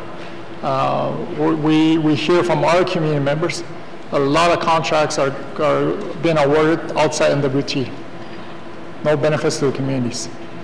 Like, that needs to be a put a stop to it. Affirmative action, we've had 32%, now it's 29, right? That's going down. Our GNWT affirmative action is not working for our people, for our staff. So it, it is a concern to me. And Housing Corporation, that alone, we can speak all day in this house. Um, we need to be proactive, Mr. Speaker-elect. We always be, seem to be reacting to certain things that are com coming up. Let's be proactive. Let's make, uh, the, the policies are there as guidance for our senior staff to start implementing with the communities. We stand here as premier, the, the cabinet ministers, supposed to take the lead to get direction to our staff. I don't see that happening. And um, I, for one, would like to push that forward and make it happen, that they need to lead this Northwest Territories. And these three critical areas need some uh, revamp of the policies. Policies can be amended. It's not legislated. So, Mr. Mr. Speaker, let, let's move forward on making positive changes in these areas so it benefits our communities, our business people, and uh, the, the Northwest Territories as a whole. Masi, Mr. Speaker. Thank you, Mr. Lafferty. Next we have Ms. Cochrane. Thank you, Mr. Speaker-elect. My first instinct was to say food, clothing, and shelter. Housing is important. If you don't have your businesses failing, how are you going to pay your rent? If you don't have a job, how are you going to pay your rent? But in honesty, Mr. Speaker-elect, that is not, neither of those are the most important in my opinion. They're all huge priorities. The most important people thing is give the power back to the people let the people. It's not for the government to determine. I had over 20 years experience working with homeless people. And when I took over housing, I did not stand here and say I had all the answers because I was old enough and smart enough to know that I didn't have all the answers, but the people did. So the first thing I did with the housing portfolio is I sent a survey across to every residence in the NWT. And I asked the people, and from the people's voice, we divided that up into short-term, mid-term, and long-term goals. And then every time I stood in this session in this house, I was able to say, we did this, we did that, we did this, we did that. But it wasn't my work. It was the people's direction. And you know what? I never got slaughtered in the House because I listened to the people.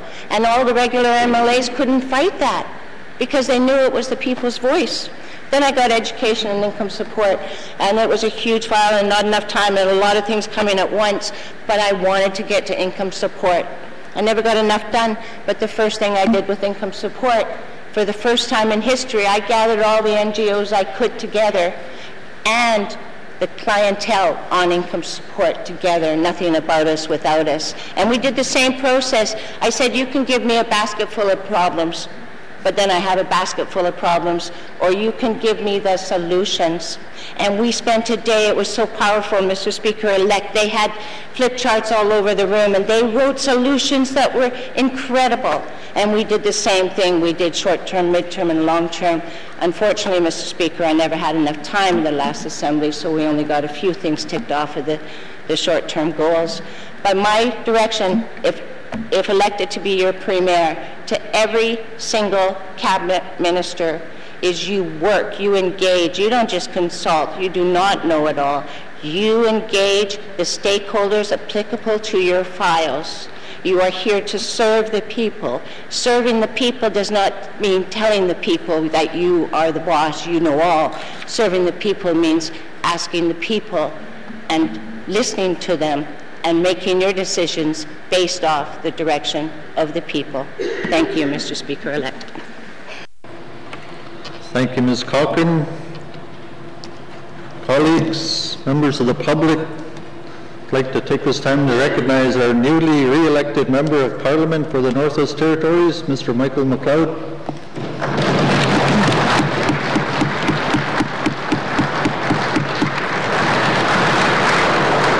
Also like to recognize former Premier Joe Handley and former MLA Kieron Testart.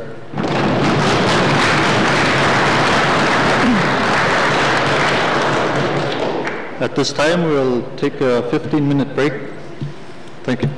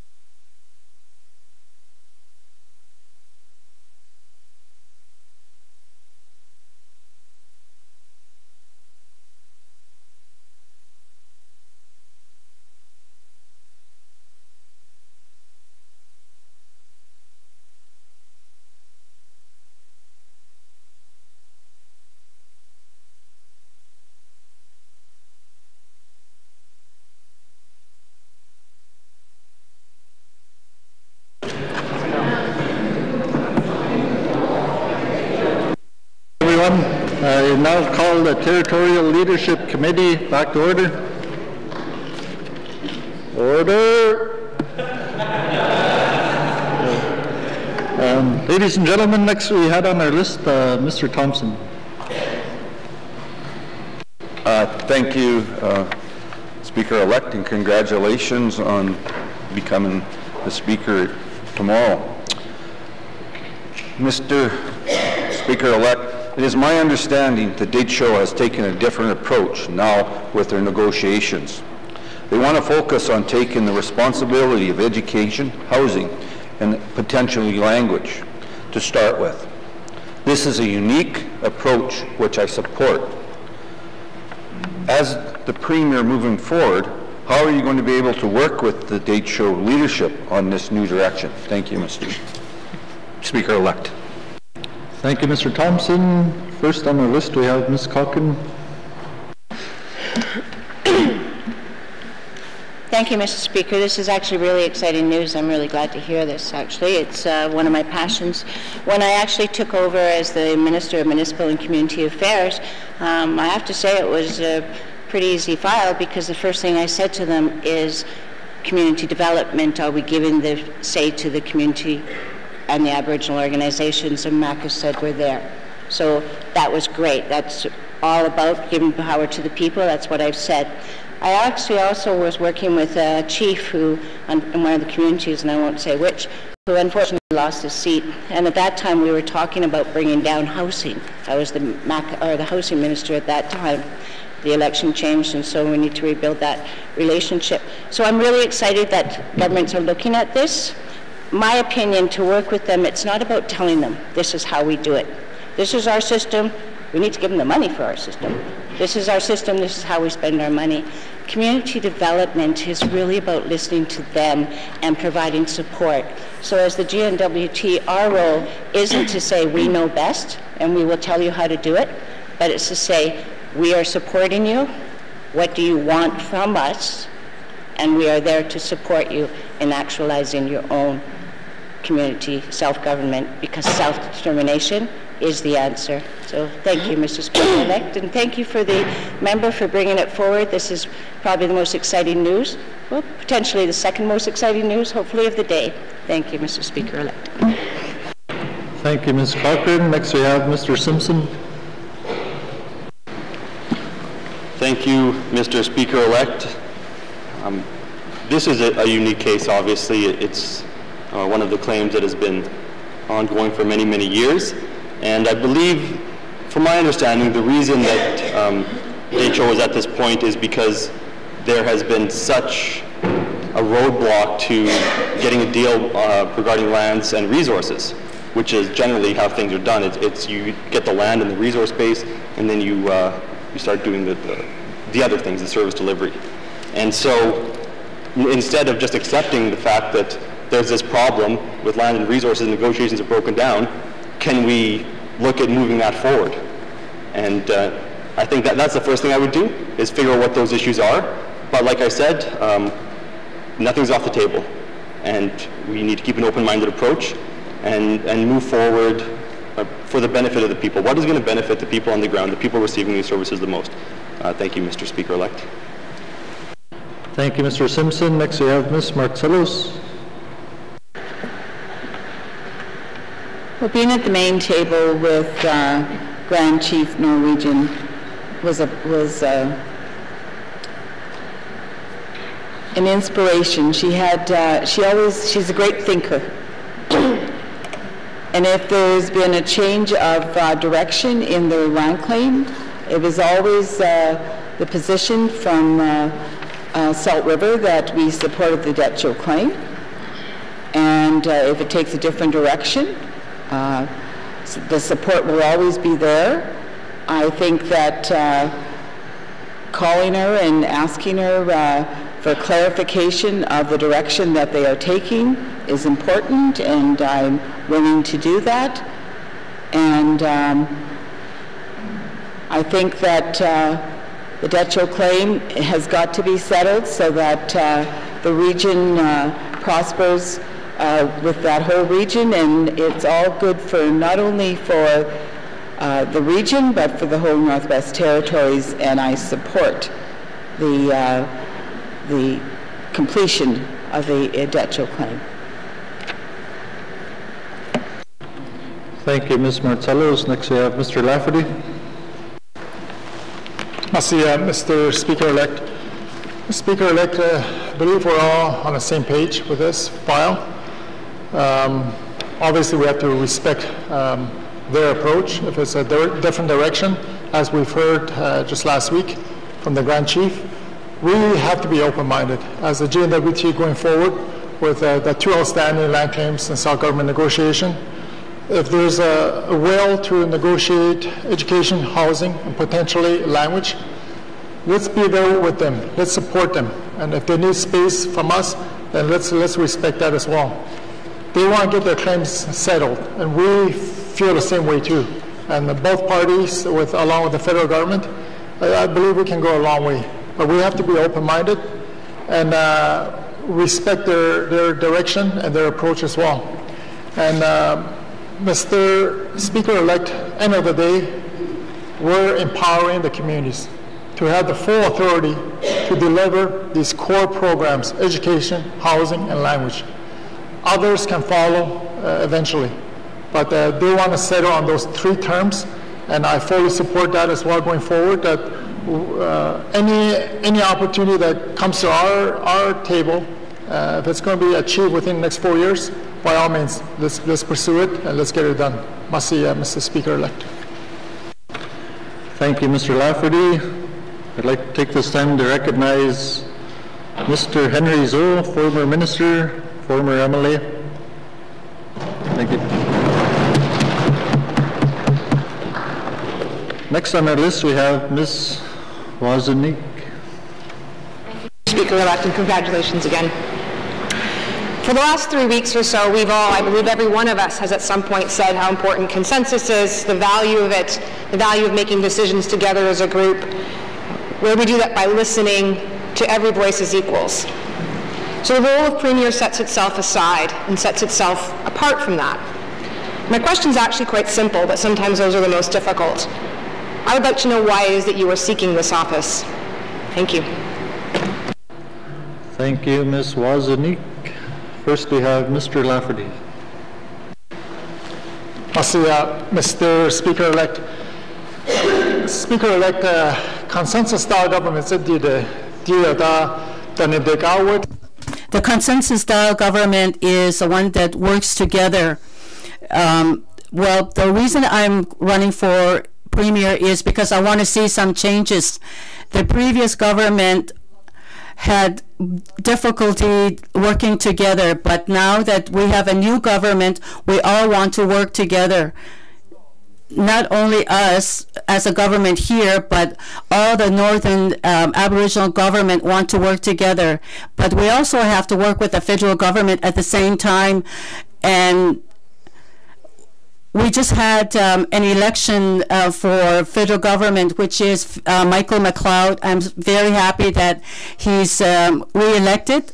I know that he is there to support the people of the North. So that is one of the reasons we run for office, because we want to see some changes. The way the people live in the North, the people the, in the North have given us what they want us to do. We want, uh, it, we know that there's policies that we don't really like. There's lots of people that are in poverty that we have to help and listen and take care of them. So we have to have good communication. That's the only way to work together. We also have to listen to our elders from the past. We have to listen to each other and speak as one voice here, we're sitting here as a government. We have to hold each other and support one another.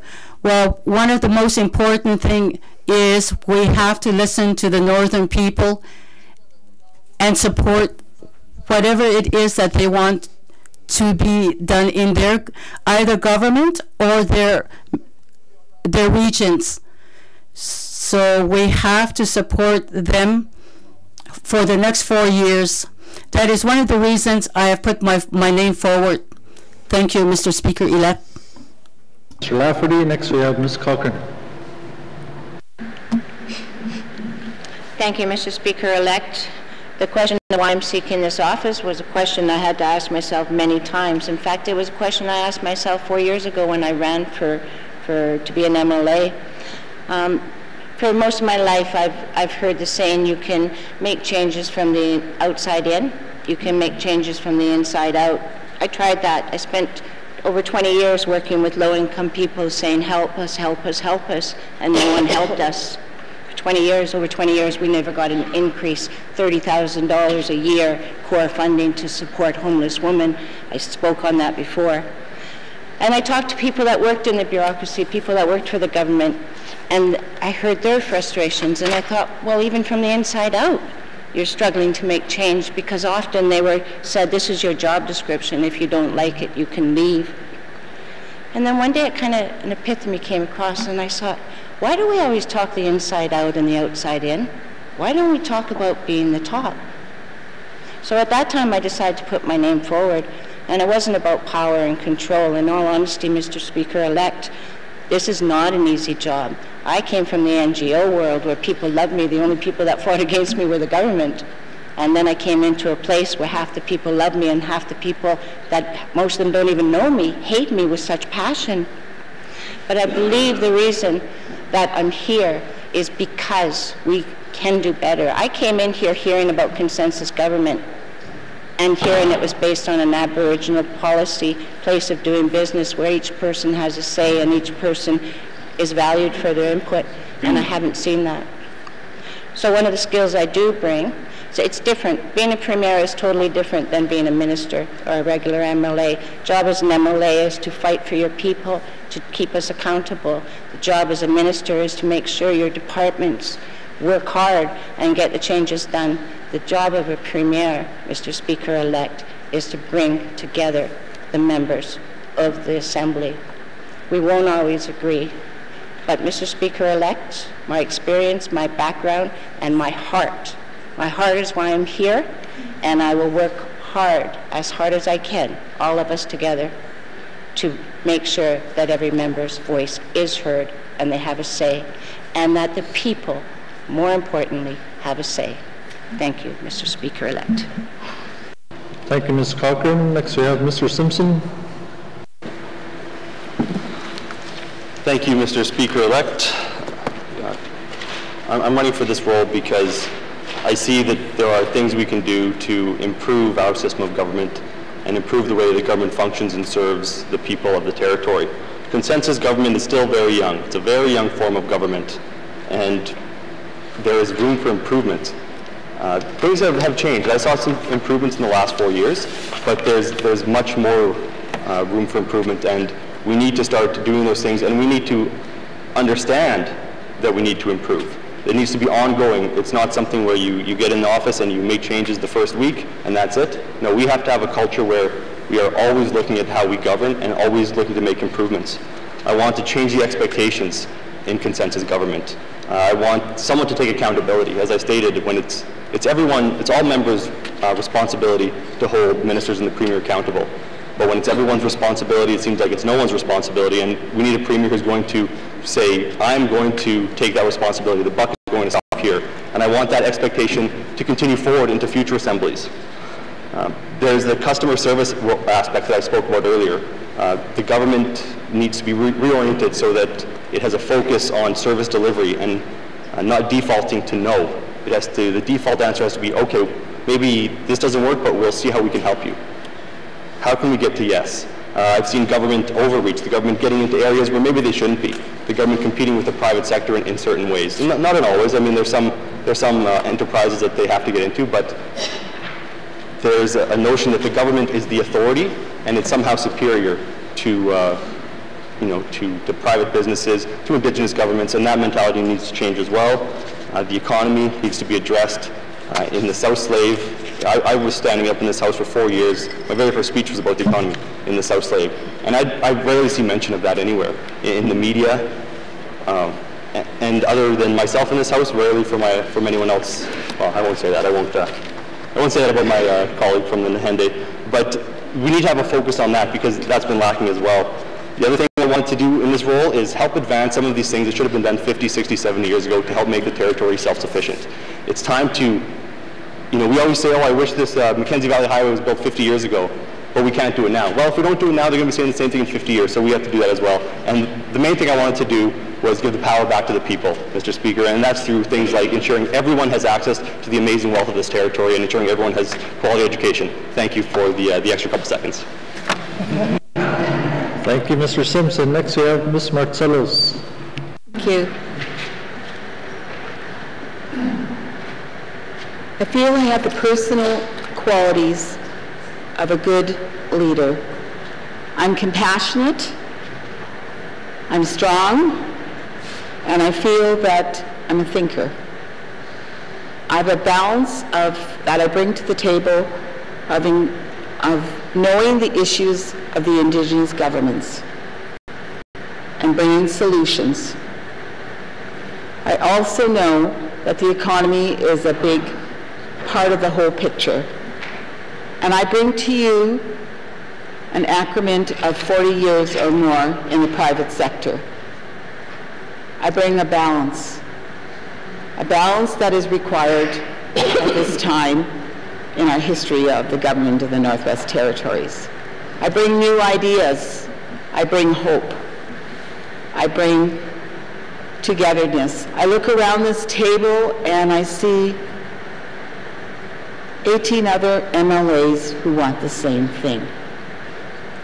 And I think that uh, as a group, with our partnerships of all levels of government, municipal, our government, the federal government, and the private sector, we can do it together. We must have hope that the future of the Northwest Territories and the future generations of all people of the Northwest Territories will benefit from our decisions because our decisions made around this table benefits everyone and affects everyone. Thank you so much. Thank you, Ms. Martselos. Next on our list, we have Ms. Chinna. My question is uh, in regards to mental health and addiction. Uh, right now, the Northwest Territories does not have a facility for our clients to be um, uh, attending these facilities in the Northwest Territories. They have to go south, and I'm talking about the uh, mental health patients or the incarceration uh, inmates.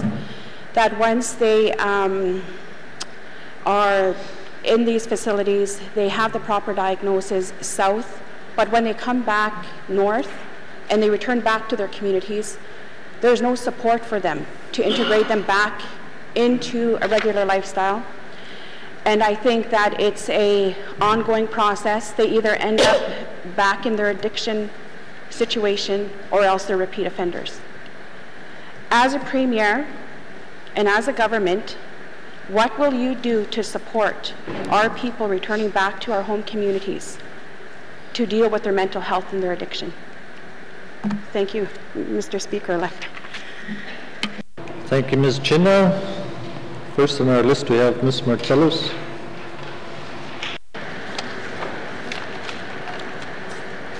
Mental health and addiction is, a, is uh,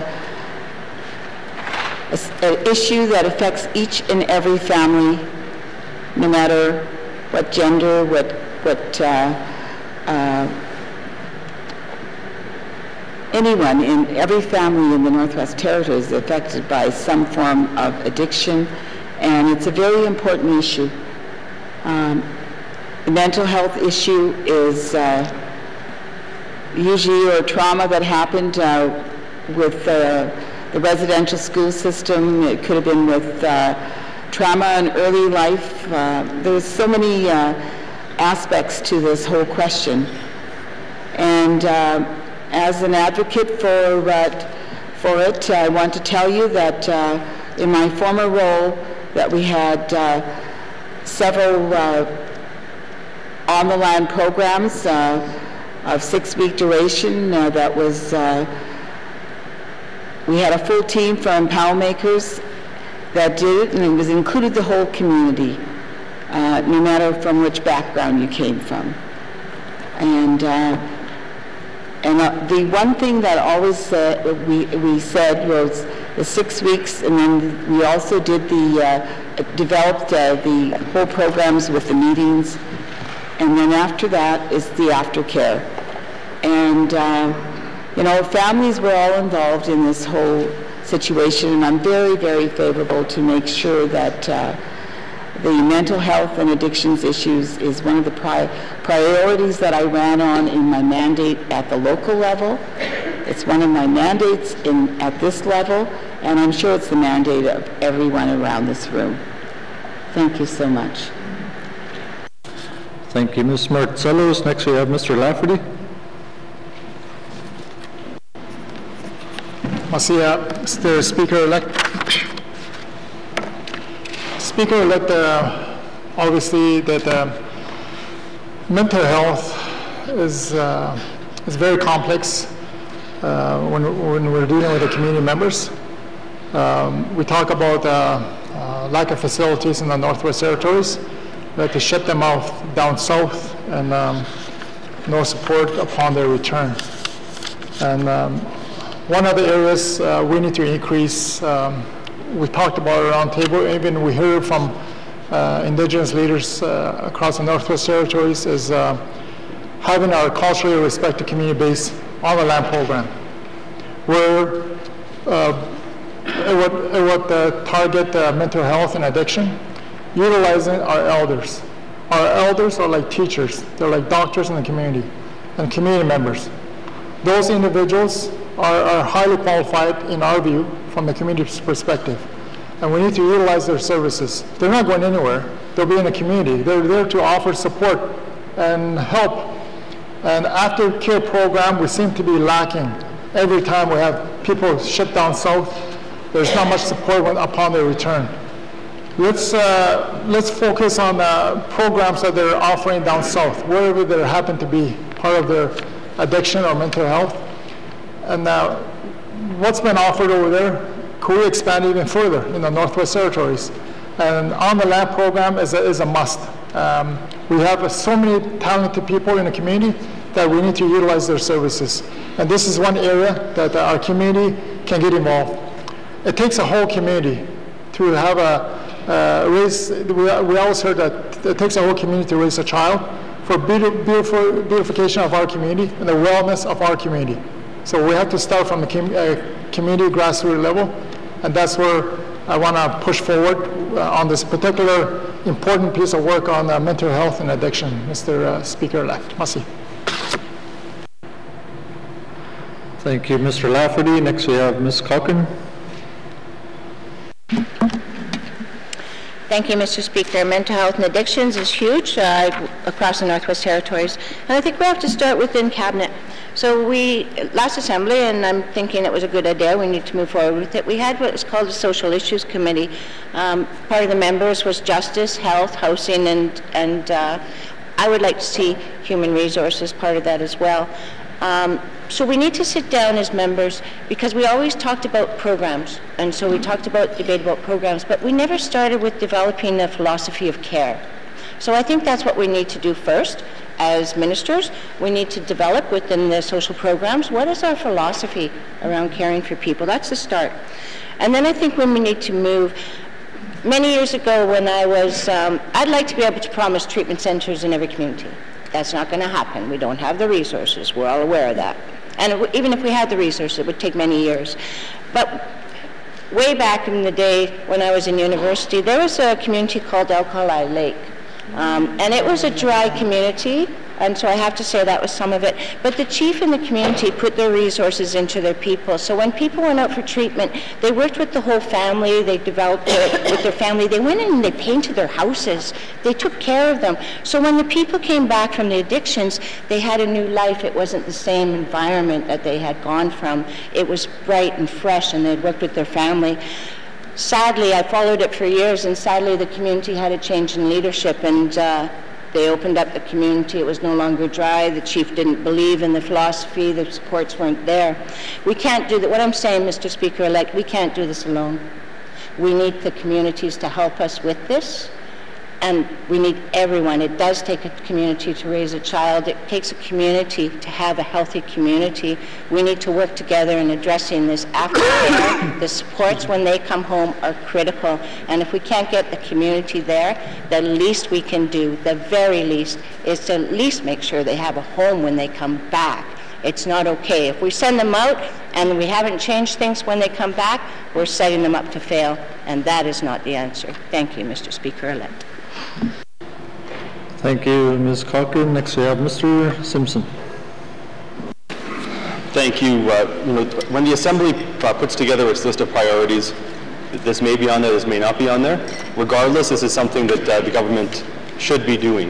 Uh, it's, it's the most basic, one of the most basic uh, services the government uh, should provide is ensuring that the people have the a basic level of health. and, and when you're suffering from mental health or addictions, you don't have that basic level of health this is a, this issue is cyclical. It will keep repeating itself unless uh, uh, we put an end to it, and it has ripple effects across the community and across generations. And we will, the government often um, focuses a lot on symptoms. We need to start focusing on causes. Uh, we talk a lot about uh, investing. Uh, well, we can, if we invest in people, we can save money uh, later on. If you want to look at it from a strictly financial point of view, this issue engages multiple departments, housing, ECE, through income assistance, health and social services, justice sometimes.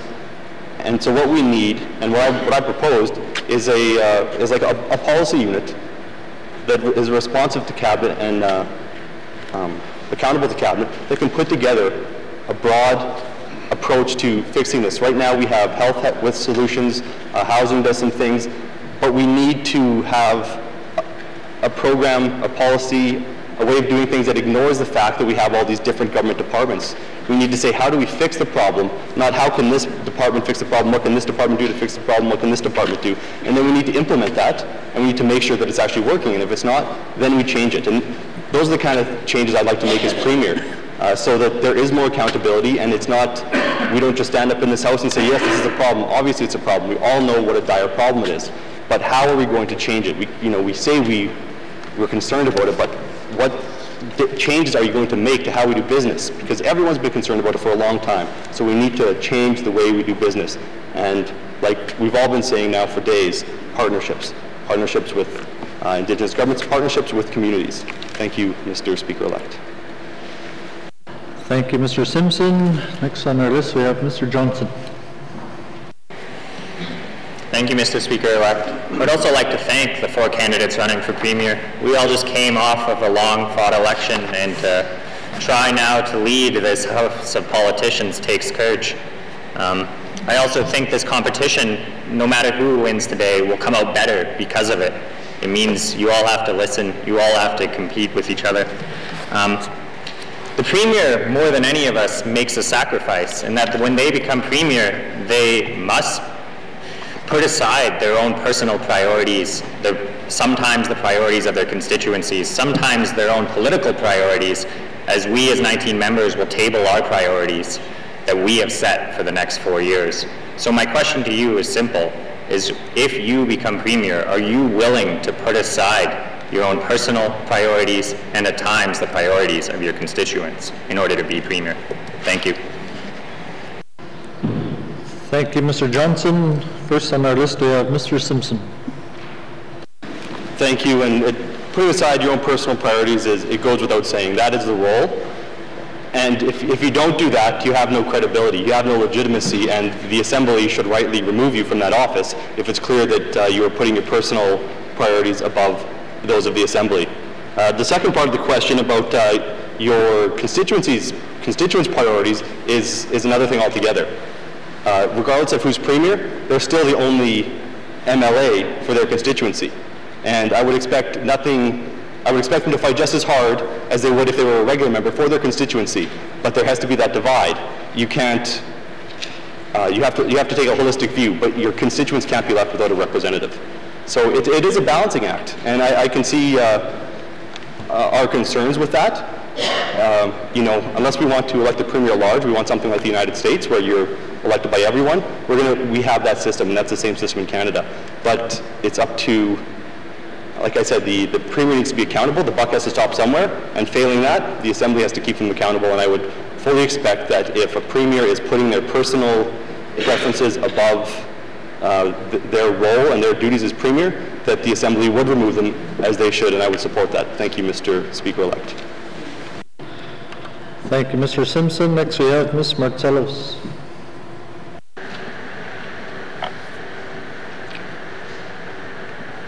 I think being an objective person and making decisions on our priorities that we set as a group is extremely important. Non-biased opinions are extremely important.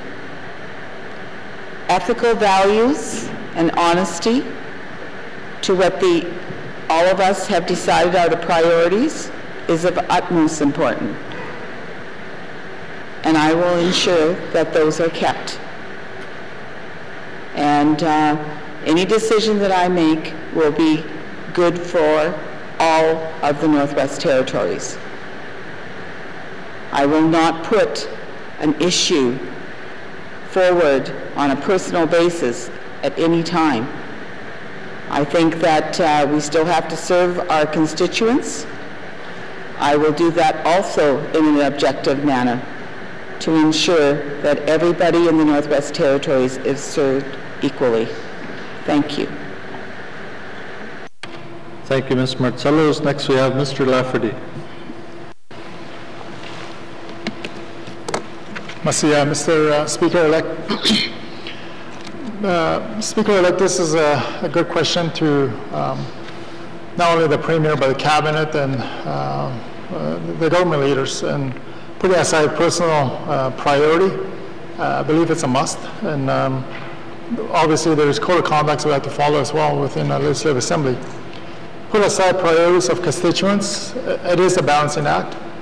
Uh, we were elected as MLA, we'll continue to serve as MLA for the next four years.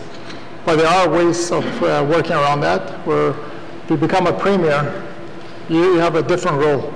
And I stated in the past where when you become a, a cabinet minister, you, you, put your hat, uh, MLA hat on the side, and you focus on uh, uh, implementing your department's uh, goals and objectives. But at the same time, you have your staff that can deal with uh, constituency issues. But, but you cannot let go of that. It's always going to be there. You need to work with it. And uh, so it is a balancing act. And, um, but like I said, there, there is ways of working around it as a, as a premier. And um, we've done that in the past. And I've had a cabinet and also the speaker's room. Uh, speaker obviously didn't have uh, questions in the House, but there's other, other areas that uh, had opportunity to access uh, obviously the, the premier and cabinet. So those are some of the areas that uh, we can uh, improve on as a working relations. So Mr. Speaker-elect, um, you know, constituency, uh, we are still their MLA. We'll continue to do so, but there's ways uh, working around it. Masi.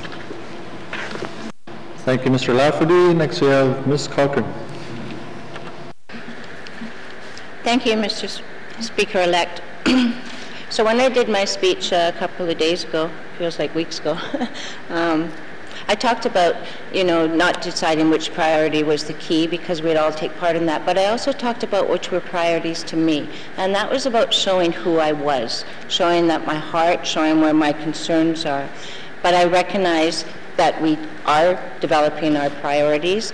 We all had input in that. I also had a chance to speak in that process.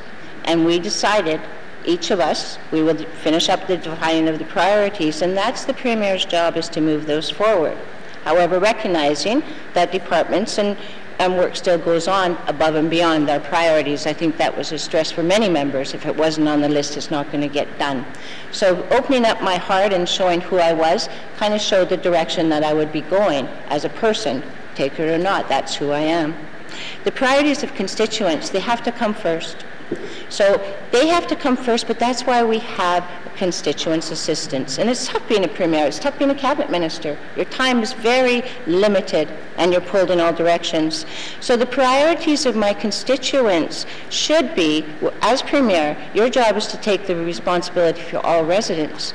But if a constituent comes to me and says, I can't get in my housing, income support has cut me off, I'm struggling as a small business, how is that not the needs of all residents? Because my gut is telling me if one person says it, there's many people in many communities saying it as well. One thing I can promise, though, in my ride in the Range Lake, if I'm a premier, you will not see a huge sky rise in my riding. You will not see a major infrastructure project in my riding unless all members say it is the best thing for the Northwest Territories.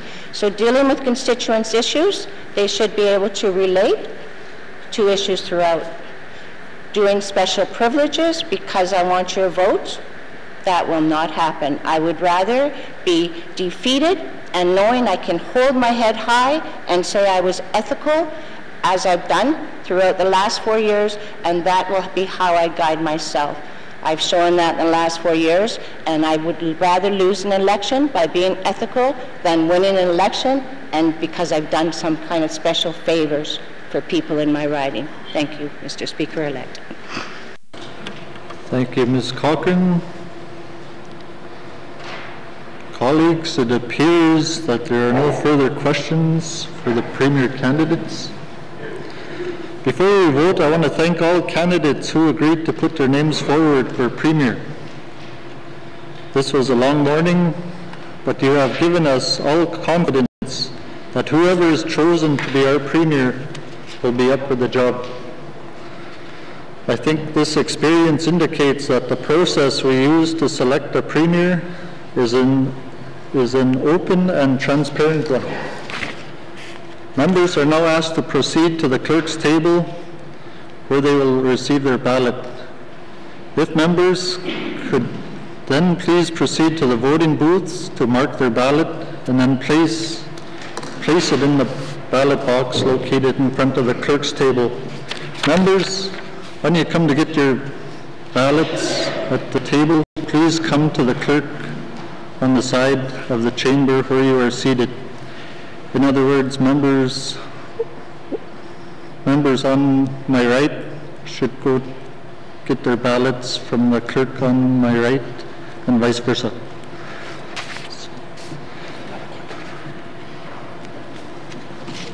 Please proceed.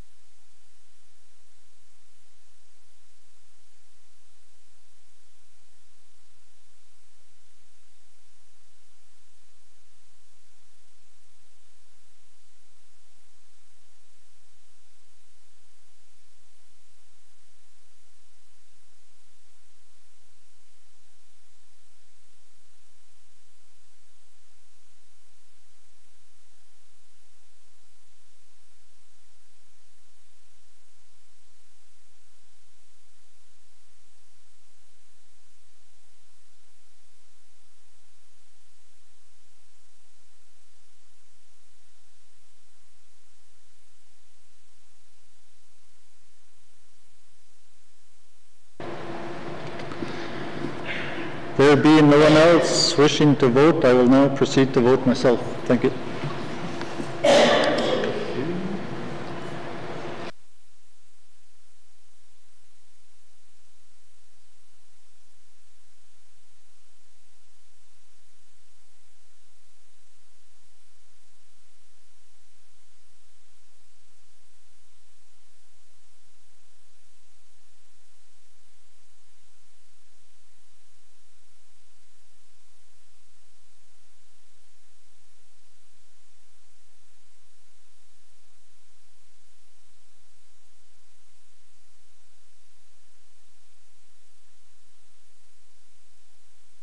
Ladies and gentlemen, I declare the voting process closed. The ballot box will be now taken to the clerk's office where the ballots will be counted.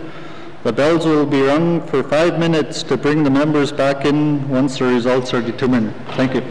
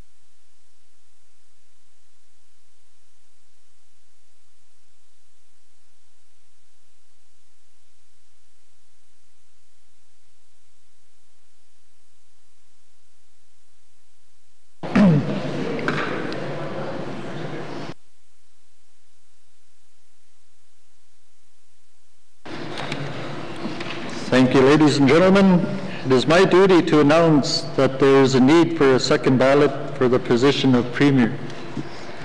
The nomination nominees for the second ballot are in alphabetical order. Ms. Cochrane, Mr. Lafferty, and Mr. Simpson. Before we proceed to the vote, are there any nominees wishing to withdraw at this time? There being no such withdrawals, the ballots are available as before. Please proceed to vote.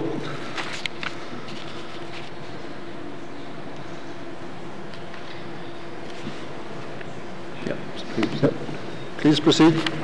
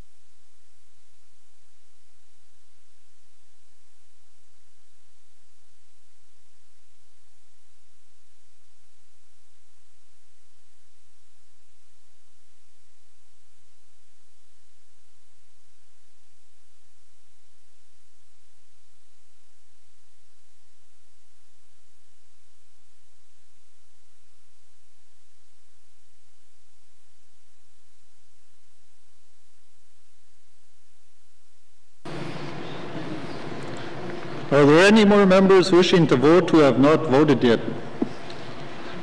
There being no one else wishing to vote, I will now proceed to vote myself.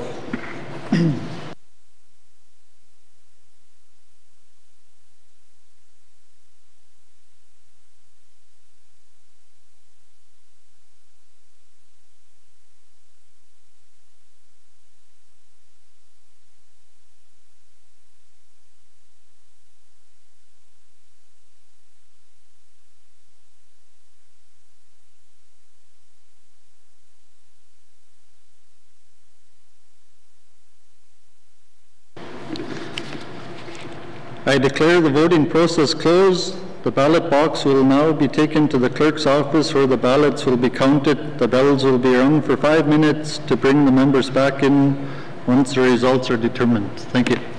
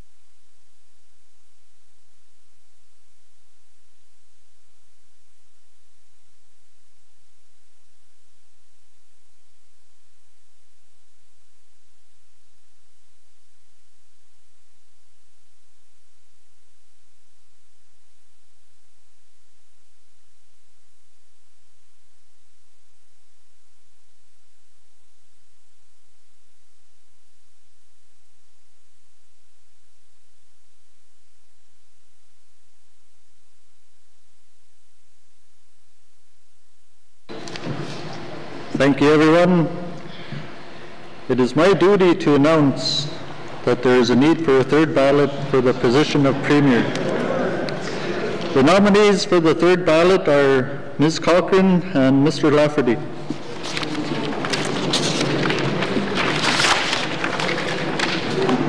If members could please proceed to the clerk's table, the ballots are available before you.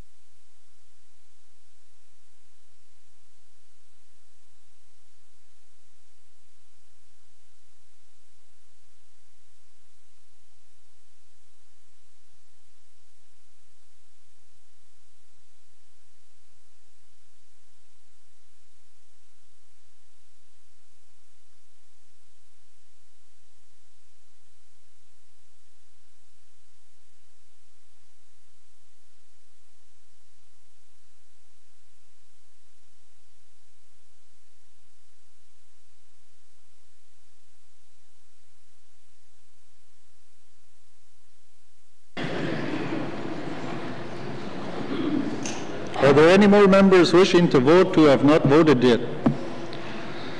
There being no one else wishing to vote, I will now proceed to vote myself.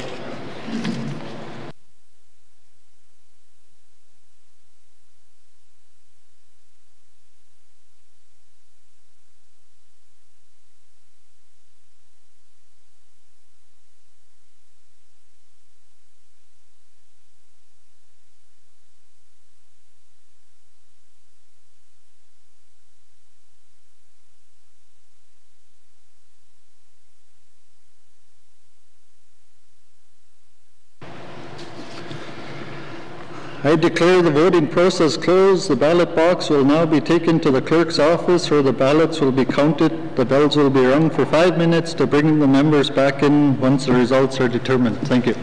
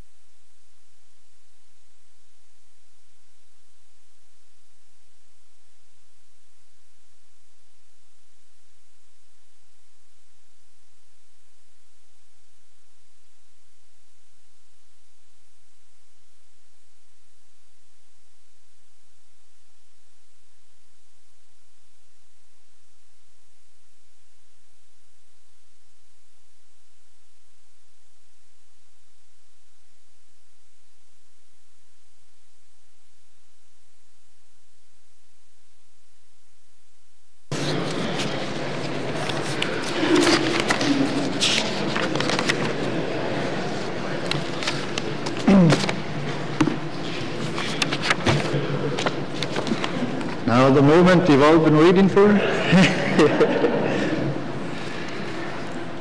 Ladies and gentlemen, I declare that you have elected Ms. Cochrane as your Premier-elect.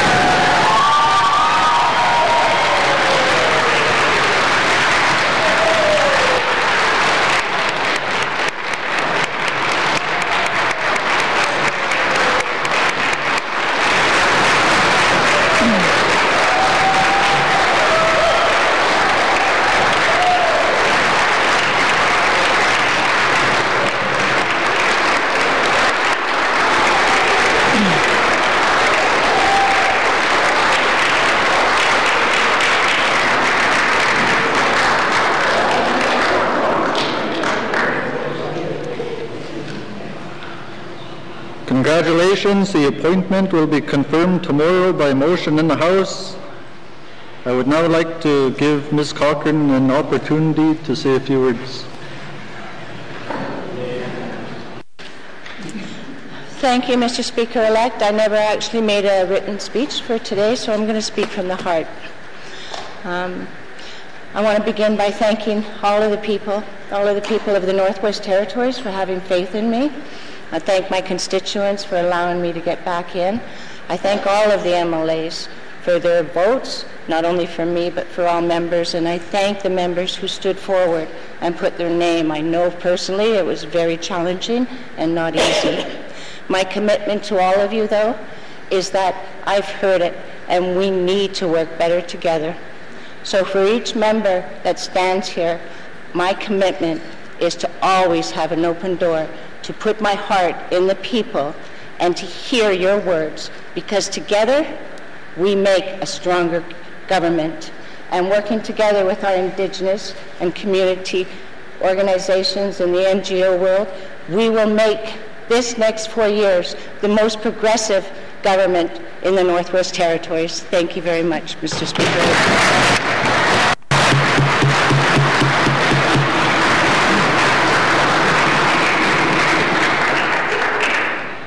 Thank you, Ms. Cochrane. I will now adjourn our proceedings for this morning. For lunch, we will reconvene at 1 p.m. this afternoon for the election of the Executive Council. Thank you.